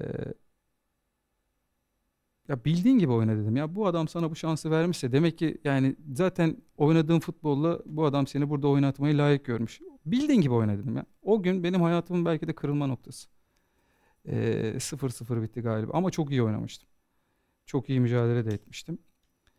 O gün eğer yenilseydim kendi o heyecanıma, o şeyim orada özgüvenimi de aldım. Ee, kendimi de yendim. Bence futbolcunun özellikle büyük takımlara geldikten sonra e, tutunamayıp başka yerlere gitmesinin sebepleri sadece dışarıda e, sosyal hayatta aramamak lazım. Hepsini oraya bağlamamak lazım diye düşünüyorum. Çünkü kendim yaşadım. Yani orada belki e, panik yapsaydım daha başka şeyler olup daha çok kötü performans verebilirdim. Ondan sonra zaten bir daha forma şansı bulamayıp daha kötü durumlara gidebilirdim. Ama o gün kendimi tanıdım, kendimi yendim. Yani o psikolojik savaşı orada verdim, kazandım. Kazandın ve Evet. ne de iyi etmişsin ki yıllar boyunca gerçekten en üst seviyede Çok şükür. Bu kadar istikrarlı, sonuçta başarıların olduğu kadar tabii ki kırılmaların, başarısızlıklar, eleştirildiğin ama şöyle bir Gökhan Gönül kariyeri herkesin gözünün önünde canlansa bardağın dolu tarafı çok fazla. Çok çok fazla. Hani Çok. boş tarafında bir şey bulabilirler mi? Onu da ben sana sorayım. Boş tarafında bir şeyler bulabilirler mi mesela Gökhan Gönül'le ilgili? Ya yani ben Ayrılık sürecinde yaşananlar. ya bunları aslında hani böyle e, şimdi hani bugün milli takım e, Tabii konuşuyoruz. ama konuştuk milli takımı bayağı bir Tabii geniş bir şekilde konuştuk. Hani değerlendirdik. diğer ama bir- konuları belki hani başka programda yine değiniriz ama hani söylemek istediğim e, özel hani şu konu var. Şimdi hani ben şimdi ben böyle diyeceğim belki hani birçok şey e, bulunacak. e, Sevindi, şöyle yaptı, böyle yaptı. Benim için hep sahaya çıktığımda şuydu kafamdaki asıl düşünce şuydu. Gökhan bugün çıkacaksın. Elinden gelen her şeyi yapacaksın. Ne olursa olsun. Maçın hangi dakikası olursa olsun. Yapacaksın. Yeniliyorsun, yeniyorsun problem değil. Ama yedek kulübü yani e, soyunma odasına geri döndüğünde, maç bittiğinde Gökhan döndüğünde cebinde hala bir şeyler kalmamış olacak. Yani her şeyini o gün o sahada vermiş, geri döndüğünde verecek bir şeyin kalmış olmamalı. Hep kendimi hep bu şekilde çıktım sahaya. Hı hı. Kazandığımız maçlar oldu. Tabii sevindik, ettik. E, her şey abartılı yaşamadım. Döndüm soyunma odasına oturduğumda yani şöyle geri yaslandığımda tamam Gökhan. Bugün ya yenilsek bile her şeyini verdin. Bugün sahada elinden gelen her şeyi yaptın. Olmadı, oldu, olmadı. Ama her şeyi yaptın, verdin. Kazandık, mutlusun. E, taraftarın seviniyor. insanları mutlu ediyorsun. Bunun verdiği haz bana yetiyordu zaten. Hani evime gideceğim. Bir sonraki haftaya kadar kafam rahat olacak. Ee, dinleneceğim. Ee, insanları mutlu etmişsin. Yani daha beklediğim bir şey yok. E, tabii yenildiğim zaman çok üzülüyordum. Hani beni o hafta kimse dışarıda göremez belki de. Hani şimdi yenildiğin zaman bana taraftar dışarıda kötü bugüne kadar tek kelime kötü laf söylemedi. Ama onlarla göz göze gelip yani yüz yüze gelip onların üzüntüsünü dinlemek bana acı verdiği için dışarı çıkmıyordum. Yani bir herhangi bir korkumdan değil. Ben bugüne kadar formasını giydiğim her takımın taraftarıyla e, çok güzel ilişkilerim oldu. Yani hepsi bilirdi ki ben e, maç kaybederdik. Maç biterdi. E, statta 50 bin kişi yine benim adıma aykırırdı. Niye? Yenilmişiz. Normalde e, kötü şeyler söyleyebilirler. Ama bilirlerdi ki ben sahada her şeyimi verdim. Her şeyi yaptım. E, diğer oyuncular yapmadığı anlamını gelmesin yani bu. Herkes her şeyini yapmak istiyor, vermek istiyor. Hani benim çünkü verebildiğim en güzel şey mücadelem de. Yani ben çok iyi çalım yetenekleri olan bir oyuncu değilim. Ya da e, topla garip garip işler yapan e, tarafta değilim. O özelliklerim yok. Hani say desem bana çok özelliğimi sayamazsın. Ama yani 15 sene çok e, üst düzey top oynadığımı ve çok iyi yerde olduğumu, bardağın tamamen Furkan, dolu sen olduğunu söylesen şimdi de birazcık burada mütevazı davranıyorsun. Yok mütevazı yok. gerçekten kendimi tanıyorum. Gerçekten mütevazılık sen, yapmıyorum sen şu an. gittikten sonra e, e, Fenerbahçe'ye sağ bek olarak gelen herkes e, hep Gökhan Gönül'le ka- karşılaştırdı ve orada hep ah keşke Gökhan olsaydı dendi. Ve sonradan sen bir kez daha Fenerbahçe'ye gittin transfer oldun. Yani bir kez daha Fenerbahçe'ye transfer olman da Gökhan Gönül'ün Fenerbahçe'de vermiş olduğu o çok büyük performans, istikrarlı performanstan kaynaklı. Doğru mu? E, Ama işte diyorum gerçekten yani o yüzden bence çok fazla Yani- mütevazı olmaya gerek yok. ya da işimiz yani işimi doğru en iyi şekilde yapmaya çalıştım. O kesin. Diyelim yani. Hani Evet. O kesin. ya günün sonunda hani çok şükür futbol hayatım bitti. E, çok güzel anılar biriktirdim. E, geriye dönük e, olumsuz şeyler olsa da bunları artık konuşmuyorum bile. Ya ne evimde ne Kalp arkadaşlarımda. kırıklığın var mı? Onu E, çok. sorayım ben. He? Çok. Kime en çok kırgınsın? Ee, şu an bunları konuşmasak daha Yok, iyi ya. Başka zaman. Yok. Madem bu kadar samimi bir şekilde Yok yani tekrar şey aç yani yapmak istemiyorum ya. Yani e, tamir oralara edilemeyecek oralara bir yok oralara mı? dönmek istemiyorum. Yok yok tamam. Tamir edilemeyecek bir kırgınlık mı var kalbinde? Ya her şey tahmin edilebilir ya. İnsan e, herkes yani gerçekten bunu konuşmayalım ya Ersin abi. Beni zorlama bu konuda. Bir bu jübile konuda- beklentin var mı? Ee, yo olsa yani istemez misin? Her, yani herkes ister. Yani sonuçta hani bu ülkede hani 15 sene oynamışsın. Ben çok isterdim mesela Beşiktaş hani e, Fenerbahçe arasında bir maç oynansın. Son lige son hazırlık maçı yapılsın. Ee, hani formasını giy, e, güzel veda et. Ee, sadece ben değil. Baktığın zaman benden daha çok forma şansı bulmuş e, Selçuk Şahin da benden çok daha fazla oynamış Fenerbahçe'de. Hani e, Volkan Demirel hani çok isterdim bunların da şey olmasını. Ama işte o jübileler çok eskide kalmış. İnsanlar artık günü düşündüğü için, o anı kurtarmaya çalıştıkları için e, bir an önce sezona hazırlanmak, şampiyonluk parolasıyla bu kulüpler hazırlandığı için hani kimsenin oraya ayıracak vaktinin de olduğunu düşünmüyorum. Ha, olsa güzel mi olur? E, olurdu ama e, çok da basit değil ya. Yani şimdi baktığın zaman harcanan e, ücretler, takımların bütçeleri akıl almaz bir yere doğru gidiyor. Hı Yani günün sonunda ne olacak? Açıkçası çok merak ediyorum. Özellikle bu sezon sonunda e, ne olur? Gerçekten kestirme güç yani.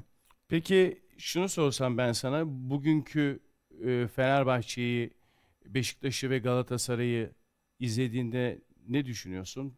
Ligin genel olarak performansı ile ilgili. Hmm, Fenerbahçe bütün maçlarını kazandı. Avrupa'da bütün maçlarını kazandı. Galatasaray keza aynı şekilde bir maçta çok çok iyi bir performans ortaya koydu. Ligde bir beraberliği var. Onun dışında son olarak Şampiyonlar Ligi'nde de Manchester United'ı mağlup etti. Müthiş. Düşüncen nedir? Beşiktaş tabii bir hoca değişikliğine gitti. Şu anda ne olacağı konusunda bir seçim olacak. Burak Yılmaz ki senin yıllarca beraber oynadığın e, arkadaşın aynı zamanda. Onunla çok dolu biri, da çok dolu biri Burak'ta. Yani e, çok isterim. Yani başarılı olsun isterim. Ko- işi kolay değil. Ee, zor. Diğer takımların kadro yapılarına baktığın zaman işi biraz zor gibi gözüküyor Burak'ın ama e, keşke işte hani bu şanslar hep sezon başı gelse. işte oyuncu planlamasını kendin yapabilsen. Kafanda oynatmak istediğin oyun planını kendin o oyunculara yönelik transferler yaptırabilsen. Hani e, şimdi ya benim için olmazsa olmaz iki tane 8, iki tane e, stoper oyuncusunun çok önemi var. Hani bunların aldırabildiğin ya da istediğin oyuncular olduğu zaman oynatmak istediğin oyun başka olur. E, hani zor, kolay değil. Sonradan e, önceden kurulmuş bir takımın hocası olmak kolay iş değil. Ama e, Burak'ın ben yerlisi yabancısı tüm oyuncuların e, çok sevdiğini, ilişkilerin çok iyi olduğunu biliyorum. Net biliyorum. Bir tane oyuncu yok ki kalkıp da Burak için hani kötü bir şey diyeceğini düşünmüyorum. Zaten diyorum yani iletişim çok önemli diye. Burak da onlara önem veren e, hocalardan bir tanesi. İnşallah başarılı olur. Çok isterim ama işi çok basit gözükmüyor. E, lig yarışı Evet. sence Fenerbahçe ile Galatasaray arasında mı geçer? şu an için zaten e, öyle geçiyor. Bence sezon sonuna kadar da öyle geçecek. Peki Fenerbahçe için o sene bu sene mi sence? Olmalı. O ışığı görüyor musun şu anda takımda? Kesinlikle. Ee, şu an e, mutlaka olacaktır. Yani keşke hani sezon sonuna kadar e, kaybetmese. Ama mutlaka olacaktır. Yani bir kırılma noktası yaşayacak olabilir. Orada önemli olan oyuncu grubunun, hocanın, yönetimin, e, taraftarın, kulübün bir sonraki şey için vereceği reaksiyon çok önemli bence. Peki o kırılma dedin ya. Şimdi daha önceki sezonlarda Hiç beklemediğim bir maçta, kırmadan kastım şu. Hiç beklemediğim bir maçta e, 2-0, 3-0 herhangi bir şey ya olabilir. Bu futbol. Yani şimdi tabii, tabii, tabii. ben çok yaşadım. E, son maçta şampiyonluklar kaçırdım. 20 tane %100 gol pozisyonuna girip atamadığımız maç yaşadım. Yani 20 taneye yakın %100 gol pozisyonu. Yani Trabzonspor olmayınca olmaz. en son Evet yani olmayınca olmaz. Olmamıştır. Bir de şansa iki tane gol yersin. 2-0 hiç beklemedin belki lig sonuncusundan. Ya bu futbol bu. Yani bunu zaten hani e, bu kadar izlenilebilir olması, bu kadar keyif alınabilir olması çünkü tahmin edemediğin bir şey. Yani hani matematik gibi değil. Dediğim gibi hani iki kere iki dört yapmıyor. Bu takım kağıt üstünde çok üstün. E kazanacak. Öyle bir şey yok. Yani Barcelona da maç kaybediyor. Real Madrid de kaybediyor. Dünyanın en büyük kulüpleri de maç kaybediyor. Yani o kırılma anlarında işte hani vereceği reaksiyon çok önemli. o reaksiyondan bahsetmişken şimdi biraz önce de bahsettin ya yani oraları iyi idare edebilmek başkan, yönetici, teknik adam aynı zamanda futbolcuların Fenerbahçe'nin 2014'ki en son şampiyonun içerisinde yer alan isimsin. Bu kadar uzun süre içerisinde şampiyon olamaması o bölümleri iyi idare edememesinden mi kaynaklanıyor sence? Ya, Çünkü şampiyon olunamayan dönemin içerisinde sen de varsın. e, ya, evet varım. Varsın. Sen- Senden sonraki süre içerisinde de Fenerbahçe şampiyon olamadı. İçerideyken de dışarıdayken de bütün her şeyi aslında birebir e, o orayı soluyan, oradaki bütün her şeyi hisseden kişi olarak ne Ya, düşünüyorsun? Şimdi şöyle söyleyeyim. Ee, ilk sezonda yanılmıyorsam ya, dördüncü mü bitirdik, üçüncü mü bitirdik Fenerbahçe'de? Ee, ya dördüncü san, ya dördüncü olabilir. Ya şöyle 10 senelik Fenerbahçe kariyerine baktığım zaman hani hep ilk ikideydik zaten. Hep Galatasaray'la sürekli Evet. yarışın içerisindeydi Fenerbahçe. Şu- Baktığın zaman Trabzon e, spor maçı süper finallerde Galatasaray maçı yarım puanla Galatasaray şampiyon olmuştu. Hani zaten iki tanesinde e, son maçta evimizde kaybettik zaten. E, hani maçın gidişatıyla ilgili yaşananlarla ilgili e, değinmek istemiyorum ama iki tanesini öyle kaybettik. E, bir tanesi İsmail Hocalı dönemde yine e, yanılmıyorsam 5-0 kazanmıştık Rize Rize maçı. deplasmanında. Evet. E, liderdik diye hatırlıyorum. E, döndüğümüzde yani lider olarak dönüyorduk. Liderdik yani. Lig bitse şampiyonsun. Kurşunlanma olayından sonra e, şampiyonluğu da verdik. Çok basit bir şey değil. Bak insanlar çok çok basit görüyorlar. Ya işte bir şey olmadı ya otobüs. Ne oldu işte bir şey olmadı. Ya nasıl bir şey olmadı? Orada bir sürü 25-30 kişi var. Ee, herkes orada bir birey, herkesin ya bir can var yani içeride. Ya oyuncular yani yabancı oyuncular özellikle hani futbolun içinde tutmaya çalışmak kolay bir şey mi sizce? Bence hiç değil.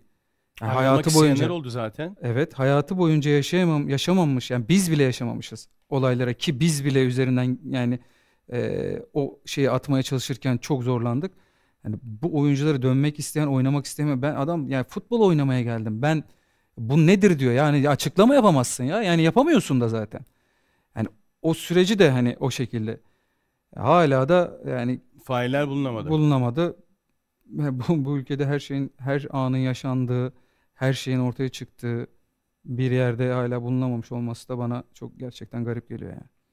o süreçte o çok Ee, ciddi bir şekilde sizin evet, yani- şampiyonluğunuzu etkiledi diyorsun. Kes, ya etkilemez olur mu? Liderdik diyorum. Yani hava yakalanmış, 5 tane atmışsın e, Rize'de e, dönüyorsun. Her şey çok müthiş. Yani yaşanmış olay sıkıntılı bir süreç. tabii. Buradan şunu mu e, çıkarmalıyım? Sadece saha içerisindeki faktörler değil, saha dışındaki aynı zamanda faktörler de Fenerbahçe'nin bu sürede şampiyon olamaması da mutlaka etkili olmuştur. olmaz olur mu ya? Yani tabii ki oldu. Ya biz eğer- Mesela hakem kararları, Şu federasyonun kumpas yaşanmasaydı bakış- ben net söylüyorum. Yani hangisi? 3 Temmuz olayı yaşanmasaydı, e, bu kumpas olmasaydı bence o süreçten sonraki yani 3 sene, 5 sene Fenerbahçe bence damga vuracaktı yani. Lige damga vuracaktı. Belki Avrupa'da da başarılar yakalayacaktı. İnanıyorum buna yani. Keşke o, o olay hiç yaşanmasaydı da o an yani o, o, dur- o durumu yaşayabilseydik. Çok isterdim. Takım bozulmasın, dağılmasın. Biz çünkü o süreçten sonra 4 tane oyuncu, 5 tane oyuncu ayrıldı. Tabii. Ee, çok güçlü bir kadroyduk. Hep hala söyler yani eski başkanımız, yeni başkanımız ee, derler yani hani e, o süreçte biz e, değer olarak çok yüksektik. Hiç akla hayale gelmeyecek belki oyuncular transfer edilecekti. Çünkü her şey çok müthiş gidiyordu yani. Ee, çaldılar yani resmen 10 senesinin 15 senenin belki de Fenerbahçe'nin bu kadar geri gitmesinin sebeplerinden biri yani. Sadece o süreç değil, aynı zamanda genel olarak içinde yer aldığın ve sonrasında hatta dışarıdan gözlemlediğin kadarıyla şu duyguya hiç kapıldın mı ya da oyuncu grubu olarak kapıldınız mı? Bizi şampiyon yapmayacaklar ya da bizim şampiyonluğumuzu engelleyecekler. Duygusuna yaşadın mı? Futbolcular arasında bu duyguyu yaşayıp da bundan dertlenenler oldu mu? Yani mutlaka e, düşünenler oldu yani. Hani ben de düşünüyordum bazen. E, ama düşünüyorsun sonra kim yapmayacak diyorsun. Yani kim engel olacak diyorsun. Ama sonra bir bakıyorsun ülkede hani emniyetinden yani en güvendiğin yer değil mi? Yani polis, emniyet. En en yani bu ülkede hani güvenebileceğin, başına bir şey gelse ilk arayacağın yer. İçinde bile vatan hainlerinin olduğu bir yerde e, her şeyin olabilmesinin mümkün olduğunu da düşünüyorsun sonra yani. Yani o kadar çok git gel geçiyor ki kafandan. Belki onlar istemiyordu. O belki o istiyordu diyorsun. Bin tane şey geçiyor kafandan yani. En başta hatırlıyorsan içeride konuşurken ben sana bir futbolcunun sahaya çıkarken en önemli şeyin ne olduğunu söylediğimi hatırlıyor musun? Futbolcu sahaya çıktığı zaman kafası fresh olduğu zaman en iyi performans verdiği alandır. En yani dönemdir, andır diyelim. Yani bir futbolcu sahaya çıktığında kafasının içinde başka hiçbir şey yoksa yani onun en iyi futbol oynayabileceğini etkileyebilecek bir durum yoksa e, ne tutabilir ki sahada? Kendi özellikleri var sadece. Yapabilecekleri, en iyi olduğu şeyleri yapabilir. Ama kafasının arkasında e, söylemler, konuşulanlar e, hani tabiri caizse derler yani kulağına kar suyu kaçırma kelimesini kullanırlar. Birileri kulağına kar, suyu, kar suyunu kaçırmaya başladığında e, o freshlikten uzaklaşıyorsun işte. O zaman da e, performansını da etkileyebiliyor yani. Saha içerisinde peki hakemlerin ekstradan Milli maç şeyinden döndük bu röportaja Ersin yani abi. Beni yakaladın. şimdi Gökhan futbolu bıraktıktan sonra Hayır buna hazırlıklı konuşuyor. değilim. Bunlara şu an hani Sen hazırlıklı değilsin ama ben de hazırlıklı olmadan şu anda inan en ufak bak önümde bir tane dahi soru yok. Tamamen şu anda doğaçlama muhabbetin devam ettiği şekilde bende. Sen konuştukça benim ya de kimseyi aklıma- şimdi şöyle Yok düşünüyorum. kimseyi kırmanı ya da herhangi bir şekilde olumsuz anlamda bir e, nasıl diyeyim e, gündem olmanı ben de arzu etmiyorum. Çünkü sen milli maç için benimle beraber sağ olsun kırmadın. Bununla beraber aynı zamanda geçmişi de hani ilk defa şunda insanlar anlamasın. Ersin Gökhan'a bir e, tuzak kurdu. Milli takım yok için ya, çağırdı. hayır, hayır, hayır. Sonra bir anda e, arka arkaya Yok. sorular sormaya Gökhan'la biz dün de bugün de aynı Ya şekilde biz zaten konuştuk. milli Ha. maç öncesi sohbet etmeye başladığımızda yani e, Tabii, keyif, tabii. keyif aldık. Hani Çünkü eskileri Sen öyle ettik. deyince insanlar da Ha, yanlış yok yok anlar. ya öyle değil öyle Ee, değil. Gökhan'ı kesin. buraya milli takım için çağırdı. hayır. Bak Ersin arka arkaya bir anda Hayır hayır hayır. Hiç. zor duruma düşürdü. Hayır. Hayır, Aslında şey- eskiyi de çünkü hiç konuşmadı. Birçok yerden teklif geldiğini de biliyorum. Röportaj teklifleri geldiğini de biliyorum. Ama çok çok teşekkür ediyorum bir kez daha gerçekten. Ben de eski günlerime döndüm Gökhan o yüzden anlatabiliyor muyum? Ya ben de Yani- ne istemiyorum biliyor musun Ersin abi? Yani şimdi biri şimdi özellikle can- canlı yayınlarda hani sonradan e, bazen anlık bir şey çıkıyor ağzınızdan. E, onu böyle cımbızla çekip bir yerlere alıp bir yerlere yapıştırıyorlar. Bir tarafa çekiyorlar. E, gündem oluyorsun durduk yere. Benim aslında röportaj vermemenin en büyük sebeplerinden biri bu. Ben oynadığım futbolla, oyunla konuşulacaksam onları sadece sohbeti, o, anlar, anılar onlar olacaksa problem yok. Ama diğer kısımlar başladığı zaman bir taraf bir tarafa çekmeye başlıyorlar ya o, onun gündeminde olmak istemiyorum. E işte Gökhan şunu dedi, Gökhan bunu dedi. Aman Gökhan şu takımlıymış, aman Gökhan bu takımlıymış, aman Gökhan burada daha mutluymuş, aman şurada daha eee, rahatsızmış. Öyle değil abi ben çok şükür Fenerbahçe, Beşiktaş, tekrar Fenerbahçe, en son dönemde de Rize. Formamı giydim. Formasını giydiğim takım için sonuna kadar mücadelemi verdim. Sonuna kadar ama. En başta söylediğim gibi. Soyunma odasına döndüğümde cebimde bir şeyim kalmadı. Her şeyimi bırakıp soyunma odasına döndüm. Çok da mutluyum. Bu ülkede hani e, yetiştirmiş iyi oyunculardan biri olduğunu zaten herkes Kesinlikle, söylüyor Kesinlikle. bu konuda mutluyum. Yani ailemle birlikte vakit geçiriyorum şimdi. Ee, diğer konuları açıp tekrar gündemde olmak istemiyorum. Çünkü bir yere sonuç gitmiyor, varmıyor yani. Olmuyor. Sen böyle söylüyorsun, biri çıkıp başka bir şey söylüyor. Ha diyor bak böyleymiş. Ya o zaman benim söylediğimi ya da beni dinleme. Yani niye bana soru soruyorsun ya da niye beni yaptığım yoruma inanmıyorsun da başka birinin söylediğine inanıyorsun. Bu tarafa bu sefer o tarafa doğru çekiyorsun. Şimdi Ben tabii- çok şükür. Aziz Yıldırım Başkan, Ali Koç, Ahmet Nur Çebi, Fikret Orman,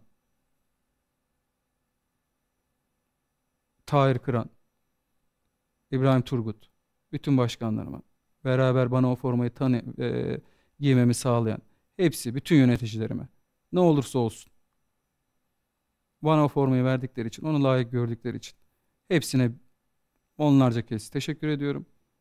Allah razı olsun. Bana o formayı verdiler, güvendiler. Ben de layıkıyla taşındığımı düşünüyorum. Futbolu bırakma günü geldiğinde de bıraktım. Mutlu bir şekilde bıraktım. Gerçekten mutlu bir şekilde bıraktım. Çünkü hani futbol bittikten sonra hani çocuklarım büyüyecekler. Yani baban bu ülkede 15 senesini verdi. Fut, Türk futboluna verdi. Keyifli anlar yaşattı. Ne mutlu ki size böyle bir babanız var. Çok şükür bazı şeylerden uzak kalmaya çalıştım. Ya ben maçın içinde hiç sinirlenmedim mi? Çok. Eşime sorsan hani der. Ben aslında herkes beni böyle e, mülayim böyle şey görür ama çok sinirliyimdir aslında bakma yani. E, ama hep maçın içindeyken de takımı düşünerek, eksik bırakacağımı düşünerek, sonraki haftaları düşünerek e, hep böyle içimde tuttum her şeyi, hırsımı, onu topa verdim. Mücadeleye verdim o sinirimi, hıncımı. Bazen hatalarım oldu. Yani onlarca hakem maçımı yönetti. Bir iki tanesiyle belki hatırlamıyorum bile. Hani şu hakemle şunu yaşadın desen hatırlamam bile. Mutlaka bir şeyler olmuştur aramızda. Belki yanlış karar verdiğini düşündüğüm anlar olmuştur. Çünkü baktığın zaman biz hani satranç oynamıyoruz. Nabzın 180 190 Aykut hocamın hep deyimi gibi dey, e, deyimi gibi oldu. E, der ölümle yaşam sınır arasında e, bir mücadelenin verildiği yerde her şeyin e, doğru kararlar çıkması mümkün değil kolay kolay der. Tabii. Şimdi benim de nabzım 190'lara çıktığı anlarda belki haklı gördüğümü kendimi ama haksız olduğum anlar olmuştur. Serzenişlerim olmuştur. Ama günün soyma soyunma odasına indiğimde gördüğümü dışarı çıkıp yeri geldiyse özrümü de dilemişimdir zaten. Çünkü bilirim ki maçtan herkes izleyen, orada olan görecektir benim haksız olduğum. Dışarıda bana niye böyle desinler, niye haksız yere şunu yaptın ya da bunu niye aldın, niye haksız yere şunu attırdın, kart gösterttirdin ee, demesinler diye maçlardan sonra da belki insanlara e, niye o an yapmadın diye sorular gelebilir. Dediğim gibi nabzın o kadar yüksek olduğu haklı olduğunu düşünüyorsun. Ama soyunma odasına girip duşumu aldıktan çıktıktan sonra özellikle bu gibi durumlarda çıkıp röportajımı vermişimdir. Gerekli kişilerden özrümü de dilemişimdir. Doğru. O, o konuda hiçbir şüphe Temiz bir olmasın şekilde Gökhan. ayrıldığımı Yani düşünüyorum. senin kendini anlatmana aslında hiçbir şekilde ihtiyacın dahi yok. Doğrusunu söylemek gerekirse ben de sektörde 30 seneden beridir varım. Bana göre de Türk futbolunun içerisinde sahadaki performansıyla sahada az önce dedin ya bütün her şeyini veren evet sen o sınıfta olan oyunculardan birisin. Hangi formayı giyersen giy hep hakkını verdin. O konuda en ufak bir şüphe dahi yok. Ee, bununla birlikte milli takımın içerisinde yer aldın. Sadece performansınla değil aynı zamanda saha dışındaki duruşun, saha içerisindeki takım arkadaşlarınla, rakiplerle, hakemlerle olan iletişiminde de hep pozitif bir Gökhan Gönül bıraktın. Yani tarihin bir sayfasında kendi mevkin açısından oynadığın bölümler içerisinde Gökhan Gönül bu sayfanın mutlaka en güzel yerlerinden birinde. Orada duruyor. O konuda hiçbir şüphen olmasın. Tabii ki sosyal medya, o bu. Fenerbahçe'den ayrılmışsındır, kırılanlar, kızanlar. Beşiktaş'tan Fenerbahçe'ye gitmişsindir, kırılanlar, kızanlar. Bu Bunlar sefer onlar yani Beşiktaş Yani- taraftarı da kızdı. hepsi olabilir. Bunlardan bağımsız olarak Gökhan Gönül dediğinde akla ne geliyorsa eğer sağ içerisindeki, sağ dışarısın, sağ dışındaki zaten o çok çok çok çok güzel bir yerde. O konuyla ilgili olarak ben tabii ki biraz hani muhabbet böyle güzel bir şekilde akınca o zaman yavaş yavaş da Ha, bitireyim. çok geç oldu. Keşke Tabii. diyorum yani bunları daha düzgün hani daha e, kendimizi ifade edebileceğimiz. Şimdi bir sürü e, insan var pazartesi yarın o işe gidecek, okula gidecek çocuklar var. Tekrarını izleyebilirler problem Ha, değil. Şu anda sürekli Sports Dijital kanalında duracağı için bence daha sonrasında mutlaka takip edip e, senin neler söylediğini mutlaka e, e, görmek isteyeceklerdir. E, Ferdi şu anda bir sağda bir solda oynuyor ama sana göre sağda mı daha iyi, solda mı daha iyi? Eee, şimdi solda diyeceğim. Tabii sen sağ bek oynadın ya.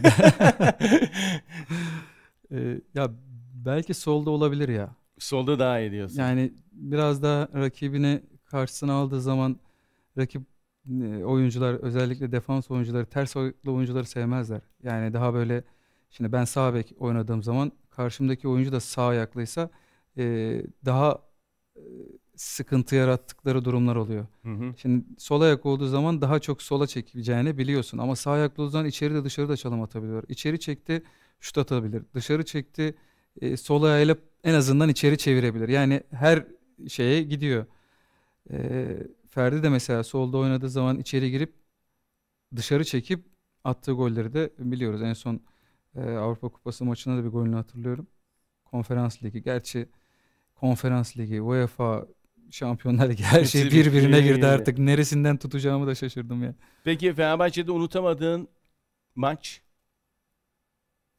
seni en mutlu eden, en mutsuz eden Beşiktaş için de soracağım aynı zamanda bunu. En mutlu olduğun maç. Ça- Çok var da yani hangi birini söyleyeceğimi bilemiyorum ki. Yani ya en mutsuz olduğum maç dersen eee, çok yine çok var. Yani Benim Trabzonspor aklıma ne maçını geliyor? söyle, Galatasaray maçını söyleyebilirsin, Benfica maçını Benfica söyleyebilirsin. maçı evet. Yani Benfica maçında eee, ben çıkana kadar hala tur atlamış taraf bizdik. Evet. Eee, Oradaydım ben de. ee, evet yani 16 dikiş attılar ağzımın içine. yani. Ve o günü hiç hatırlamıyorum. Sonradan açıp izlemedim de tekrarını yani. Belki de o olabilir ya. En sevindiğim maç Sevilla maçı olabilir. Penaltılarla tur Evet. atlanılan. Peki Beşiktaş? Beşiktaş'ta var mı böyle unutamadığın? Biraz daha düşüneyim. Beşiktaş'ta kupa zaferiniz var. Değil mi? Türkiye Kupası kazanılmıştı. Yanlış Şampiyonluk da yaşadım. Şampiyonluk da var. Şampiyonun dışında bir kupa da vardı çünkü o yüzden. Ee, sanırım üzüldüğüm maç ya bir tanesi e, Galatasaray deplasmanında sondan ikinci, üçüncü maçtı sanırım. E, yensek biz şampiyonduk. E, Galatasaray'ın 2-0 kazandığı maç olabilir. Üzüldüğüm maçlardan bir tanesi. Çünkü e, bir de çok enteresan kararlarla e, hatırlarsın belki şimdi anımsatacağım sana. E, işte taç pozisyonu var işte Caner'den mi çıktı bizden mi çıktı Galatasaray Evet. çabuk başladı gol yedik sonra ikinci golde de oyuncu değişikliği ben oyundan çıkıyorum Necip daha orta sahadan oyuna girerken benim pozisyonumu alacak hakem direkt maçı başlatıyor Ee, Evet, evet, Necip evet. yerinde olmadığı için golü yiyoruz falan yani o olabilir 3-3 maç Ee, bilmiyorum ki ya çok var ya aslında Sana e, kariyerine en çok etki eden, e, sana herkesten daha fazla katkı sağlayan teknik adam kim? Yo ben e, Söylemek bu- bu- istemiyorsun. bu- yo, hayır söylemek istemiyorum değil. Bana her hocamın Bak en iyi teknik adam demedim. tamam yo bana Yalnız her ha- hocamın bak, ayrı ayrı Soruyu katkısı öyle var. bir güzel sordum ki. yani sana en fazla dokunan, senin kariyerine en fazla pozitif Ya- etki eden teknik adam kim diye Ya sordum. hepsi etti. Hepsinden çok şey öğrendim. Yani e, hani Ersun Hoca'dan, Aykut Hoca'dan, e, Şenol Hoca'dan, Abdullah Hoca'dan, Sergen Hoca'dan, İsmail Hoca'dan, Fatih Terim'den ya e, bit- zaten bütün hocaları sayacağım yani. Sayın, onu ben buradan al- istediğimi alamadım ben. Tamam. Hepsinden bir şey öğrendim. Yani gerçekten öğrendim ama. Yani her hocadan başka şey aldım kendime. Peki. E, ama bunlar hep iyi yönlerini çektim yani kendime. Şu anda maçları takip ediyor musun Evet. Gökhan? Dikkatli Ediyorum. bir şekilde Ediyorum. hepsini izliyorsun. Yani e, elimden geldiğince yerinde de izlemeyi seviyorum. Çünkü e, dediğim gibi biz hep gidiyorsun iç- maçlara. Evet, biz daha çok hep iç, içerideydik. Dışarıdan izlemiyorduk o Hı hı. görüntüyü. E, dışarıda e, televizyonda izlediğin zaman maçları sadece topun olduğu bölgeyi görüyorsun. Evet. Topun olmadığı bölgedeki oyunun nasıl e, şekillendiğini de bence görmek. Eğer hoca olmak isterseniz bunu yapmanız gerektiğini düşünüyorum. yani. Peki kariyer planlaman ne o zaman madem öyle son sorumu ileteyim. Şu andaki hedefin, planın nedir? Ee, biliyorsun e, kurslara devam ediyorum. Evet. Hemen hemen bir buçuk sene oldu. Nisan ayı gibi yani iki seneye yakın sürüyor toplamda. Ee, işte Arda, Burak, ben, Mehmet Topal. Hani birçok arkadaşım ismini sayamadım. Hepimiz kursta çok e, aslında faydalı da oluyor. Birçok şeyi görmüş oluyoruz. Yani sadece yani şimdi içeride sana söylemiştim. Bana kanat ucumu desen ben sana bin tane kanat ucumu ile ilgili opsiyon çıkarırım. Yani 20 sene orada o 25 sene top oynadım. Ama bunu işte oyuncu grubuna geçirebilmek, o oyuncu grubunu da o oynatmak istediğiniz oyuna inandırabilmek bence atletik performanstan, fiziki e, performanstan çok da önemli olduğunu düşünüyorum. Oyuncu grubunun inandırdığınız an oyuncu grubu o oyunun güçlü bir oyun olduğunu düşündüğünde istediğiniz oyun o zaman daha çok ortaya çıkıyor. Oyuncu grubu da keyif alıyor. Ee, işte bunların orada hani sunumlarını, e, antrenman planlarını, teknik, taktik, fiziki, sosyal, psikolojik bir sürü alanları var. Gerçekten bir sürü alanı var. Hani oraya gidiyor e, kursa e, vakit geçiriyorlar gibi zannediyor. Öyle bir şey yok. Bir de herkesin yanıldığı bir konu daha var. E, aslında geri gelmişken onu da söyleyeyim. Türkiye Futbol Federasyonu bunu kendi yani o bünyesindeki olan bu grubun bünyesi kendi kafasına göre ben kurs açtım buraya e, hızlandırılmış şekilde kurs veriyorum ya da oyuncu grubunu belirliyorum diyemiyor. Öyle bir şey yok. Kendi bünye yani kendi e, inisiyatifinde değil. Bunu gidiyor gerekli yerlere. UEFA, FIFA, kimse gidiyor. Bu ülkede e, en üst liginde en az 7 sene oynamış oyuncu grupları bir araya getirirsen, belli bir sayıya ulaşırsan zaten sana bunu açma imkanı veriyor bu kurs. Bu oyuncu grupları da baktığınız zaman hepsi yani değil 7 sene, 10 sene, 15 sene oynayan oyuncu grubu zaten. Onlara sıra önceliği veriyor gibi düşün. Yani belki Hı-hı. 3000 kişi, 3000 tane e, hoca şeyini bekleyen, kursunu bekleyen e, hocalar var. Hoca adayları var. Biz de öyleyiz. Hani ama bunu UEFA zaten sana sunuyor. Bunu federasyon tek başına kendi aldığı bir karar değil yani. O yüzden hani burada da bir açıklık getirmekte fayda var. Ee, çok şey öğreniyoruz. Hepimize bir şeyler katıyor. Sadece futbol bıraktım hemen e, sahaya döndüm. Hoca olayım derdinde de değilim. E, bekliyorum da uzun süredir. E, çok şükür e, arayanlar da soranlar da oluyor ama e, yavaş yavaş bir yere kadar geldik, ısındık. E, nasip olursa ne zaman olur bilmiyorum. E, ama inşallah iyi yerlerde e, futbolda en az Türk futboluna kattığım kadar hocalıkla da bir yerlere gelir, bir şeyler katar. Tabii ee, futbolcular için nasıl ki bir yeni jenerasyondan bahsediyorsak teknik adamlar açısından da keza şu anda işte yeni futbolu bırakmış olanların da Arda gibi, Burak gibi, e, Nuri Hoca gerçi biraz daha erken başladı tabii ki ama yeni yeni sizinle aynı jenerasyon içerisinde Volkan Hoca gibi, Emre Belezoğlu gibi hep aynı dönem içerisinde beraber oynadığınız eski yeni farklı bir jenerasyon geliyor. O jenerasyon içerisinde de senin de başarılı bir şekilde yer almanı gönülden isterim ee, ki e, bu kadar aslında futbolculuk döneminde yaptıklarınla teknik adam olarak da ne kadar işi ciddiye alıp ne kadar planını, programını, çalışmalarını iyi yapacağının da bir e, göstergesi futbol kariyerin. Başarılar diliyorum. Teşekkür ederim. Umarım yani, hayallerine şimdi, kavuşursun. İnşallah. yani e, bırakıp hocalığa başlayan yeni hoca, yeni nesil hocalar. Evet. Öyle diyorlar ya. Hepsi başarılılar. Çok e, bence diğer geriden gelen hoca adayları için de e, güzel aslında güzel bir e, durum bizim için de. E, çünkü şöyle düşünüyorum. E, futbol sürekli değişiyor. 5 senede bir, 6 senede bir sistemler değişiyor, anlayışlar değişiyor. İşte daha önce 4 4 2 e, dörtlü yine savunma ama sarkık liberolu hatırlarsın yani çok tabii, eskiden tabii, o tabii. sistemler. Sonra 3-5-2'ye döndüler. Sonra şimdi e, daha sonra 4-2-3-1'e dönüldü. Daha sonra işte Dünya Kupası'ndaki e, oynanılmış olan sistemle başarılı olunca ülke e, acaba beşli savunma hani diyoruz ya denedi daha önce Jesus da denemişti bunu. E, eğer buna bir hazırlığın yoksa zaten bu sistemi de nasıl denersin onu da şaşırıyorum gerçi. Hani bunlar uzun uzun çalışılmış, e, gerekli çok mesai harcanmış, nasıl oynanması gerektiğinin üzerinde çok durulmuş, oyuncu çok anlatılmış sistemler. O yüzden başarılı oluyorlar. Ama sen bu sistem başarılı oldu diye direkt o takımı o sisteme uygulamaya çalışırsan e, kötü sonuçlar alabiliyorsun. O yüzden e, yeni nesil hocalar dediğimiz hocalar yeniliğe açık e, açıklar. E, bence başarılarının sebeplerinden biri de yenilikçi olmaları, açık olmaları. Yani eski şeye kafalarına böyle bu tarafa tutup hayır ben böyle oynayacağım değil. Sistemlerle oynuyorlar, değişiyorlar. Ee, kimi hani 4-1-2-3 dersin, kimi 4-3-3 der, kimi 4-4-1-1 der. Hani bir sürü şey değişebilir. Ama oyun anlayışı da çok değişiyor. Sadece sistemler Tabii. değil. Peki şu anda hocalığa ısınıyorsun ya. Hı hı. Ee, maçları izledikten sonra evde birileri varsa arkadaşların veyahut da yoksa eşinle bir maç analizi yapıyor musun?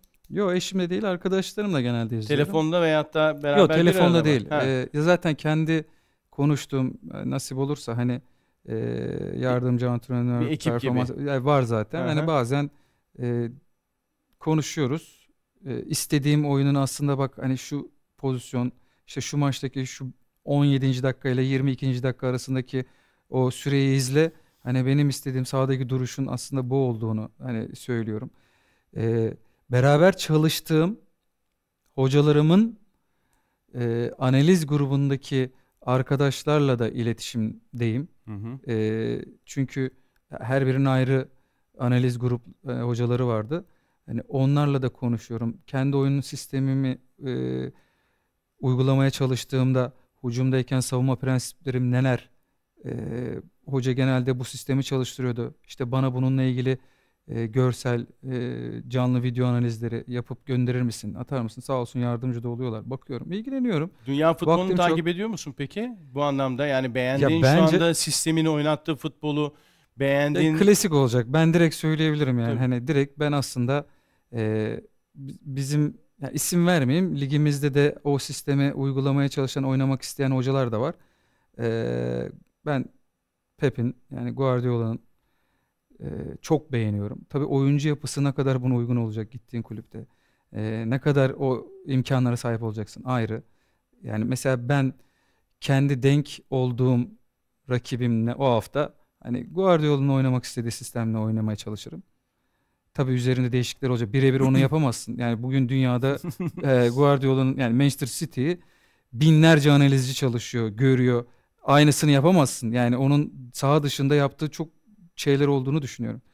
E, işte hani e, benden biraz daha iyi olduğunu düşündüm ya da daha güçlü olduğunu düşündüğüm bir rakibim varsa o zaman da kulübün oynattığı oyun sistemini oynamaya çalışırım. Yani bunlar değişecektir. iki İşte diyorum teknik ya. adam şu anda senin için farklı bir Evet. yerde Yani. yani. biri başka bir oyun planı, diğeri başka bir oyun planı. O gün o rakip kimse oynayacağım karşılıklı analizlere baktığın zaman hani hep söylüyorum ya ne daha iyiyiz, karşı takım ne de daha iyi. Neleri zayıf, bizim güçlü yönlerimiz neler. Hani bunları e, analiz ekibiyle bir araya gelip yardımcı hoca ile birlikte hani planlandığı zaman e, güzel şeyler çıkacağını düşünüyorum. Peki. Yani isterdim de aslında hani direkt birinci hoca değil e, iyi bir yardımcı hoca yani bir hocanın yanında yardımcı hoca ola- olarak da e, bulunmak isterdim. E, ne olursa olsun birçok hocayla çalıştım ama onların yanındayken e, sahada oyuncuyla birlikte olduğun anlar dışındaki anlarda e, neler yapıldığını da görmek de isterdim açıkçası. E, bakalım kısmet. Yani Kısmet nereye hayırlısı gidecek? olsun. Saat bir buçuk oldu. Biz Milli böyle da girdik. ben konuşurum. Beşe kadar konuşuruz. Milli takımla girdik. Milli takımın Avrupa Şampiyonası'na katılmasını, mutluluğunu yaşadık. Zafer gecesinde sevgili Gökhan'la birlikte son bölümü de eski günlerine Fenerbahçe'deki, Beşiktaş'taki dönemine şöyle ayırdık ve oraları da biraz olsun ben kurcalamaya çalıştım, deşmeye çalıştım artık alabildiğim kadar aldım ama Gökhan'ın belki de ilerleyen dönemde söyleyebilecekleri, söyleyecekleri çok daha fazla şey olabilir veyahut da hiç olmayabilir ama bir gerçek var ki futbolu bıraktıktan sonra Haziran değil mi? Haziran başıydı. Yanlış mı Bu sezon işte bırakmış oldu. Ee, Geçen sezon bitmiş oldu. Evet e, ve ilk kez aslında bir ekranda gördük kendisini. Bu zamana kadar ne bir gazete röportajı ne de herhangi bir televizyon kanalı veyahut da bir dijital kanalda yayına hiçbir şekilde çıkmamıştı. Ama bu akşam hem milli takımımıza özel bu yayında hem de geçmişi de konuşmak adına kendisiyle konuşmamızda sağ olsun buraya geldi, kırmadı.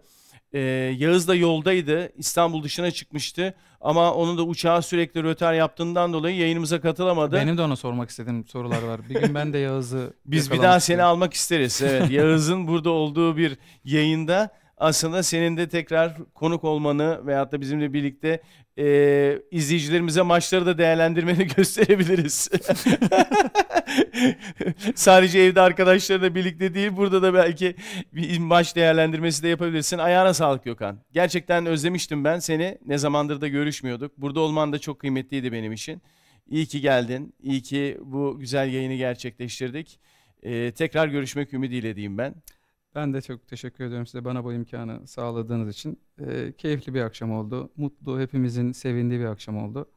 Ee, inşallah başka dönemlerde, başka zaman, başka konularda birlikte oluruz. Ben e, misafirperliğiniz için de çok teşekkür ederim. Ee, gerçekten keyif aldım. Ya şunun da farkına vardım biliyor musun? Ben böyle konuşunca da bak konuşurum, konuşmam, konuşmam. İlk, ilk Şimdi- beni gördüğü anda be- be- benim en nefret ettiğim şey kamera karşısına geçip Aynen öyle. konuşmak dedi ama bunu söyleyen Gökhan'la şimdiki Gökhan arasında çok farklı. fark var. ya şöyle, Biraz benden de kaynaklı mı acaba? evet. E, ben hep seni tab- övdüm de tab- sen de kesin benimle fark- ilgili ya bir şey- övmek ya övmek için değil de ya şöyle ya ben aslında hani şimdi yaptığımız iş geri ben sahaya çıktığım zaman statta 50 bin kişi top ayağına geldiğinde 50 bin kişinin gözü senin üzerinde. Ee, televizyonda milyonlarca insan senin o an vereceğin karar, yapacağın hareket ya da e, alacağın inisiyatif herkesin gözü önündesin. Orası benim alanım ya çok rahatım. Hı hı. İnanılmaz rahatım. Ama ne zaman ki e, işte bir ödül törenine çıkacağım. Acayip heyecanlanıyorum. Yani bunu yenemiyorum içimde. Hani hep diyorum ya içimde yendim yendim. Bir tek bunu yenemiyorum. Kameralar karşısına geçince ya belki de toplumun acaba baskısı mı oluyor bu? Hani ağzından yanlış bir şey çıkacak. Aman tut aman bu tarafı sevindireyim derken bu tarafı üzü- üzüt- üzülmesini sağlama. Ya belki de bu düşünce mi beni buna itiyor bilmiyorum ama kameralar gördüğüm zaman acayip rahatsız oluyorum ya. Yani olmuyor. O heyecanım yok. Burada yendim. Daha rahatım. Burada Bu- Bugün bugün bence Şimdi hiçbir- futbolda oynamadığım için biraz da hani daha önceki dönemlerde şimdi formasını giydiğin camiaya karşı sorumluluklarım var. Söylediğin şeyler sadece seni bağlamıyor. Tabii, O tabii. koskoca camiayı bağlıyor. Hatta taraftarı da bağlıyor. 20 milyon taraftarın varsa onları da bağlıyor. Ağzından çıkacak en ufak bir hata yani herkesi üzebilir de e, diğer keza rakiplerin taraftarlarına da yanlış bir şey söylemek hiç istemedim hayatım boyunca. E, onları da üzmek istemem aslında. Doğru yani sen e, Ama her evet- zaman hep saygını mutlaka bir şekilde e, gösterdin. En azından bütün herkes bunu gördü. Sağ içinde de sağ dışında da. Teşekkür ediyoruz tekrar. E, milli takımımıza bir kez daha tebrikler. Montella'ya e, yeni hocamızla 2'de 2 yaptık ve Almanya'dayız artık. Şu anda tek bir maçımız kaldı. Galler Kasım'ın 21'inde ve orada da istediğimiz sonucu aldığımız takdirde grup lideri olarak aynı zamanda kurallara gideceğiz ve Avrupa Şampiyonası'nda yerimizi alacağız. Bu da bizim için son derece kıymetli. Her birine, futbolcularımıza, bütün emek veren herkese bir kez daha tebriklerimizi iletelim. Bizleri izleyen, mesaj yazan, yayınımızı beğenen, Sports Dijital'e abone olan herkese, sizlere çok çok teşekkürler. Tekrar görüşmek üzere. Hoşça Ağzına kal. sağlık. Yeni jilet Maküt Charcoal. Her gün tertemiz bir tıraş.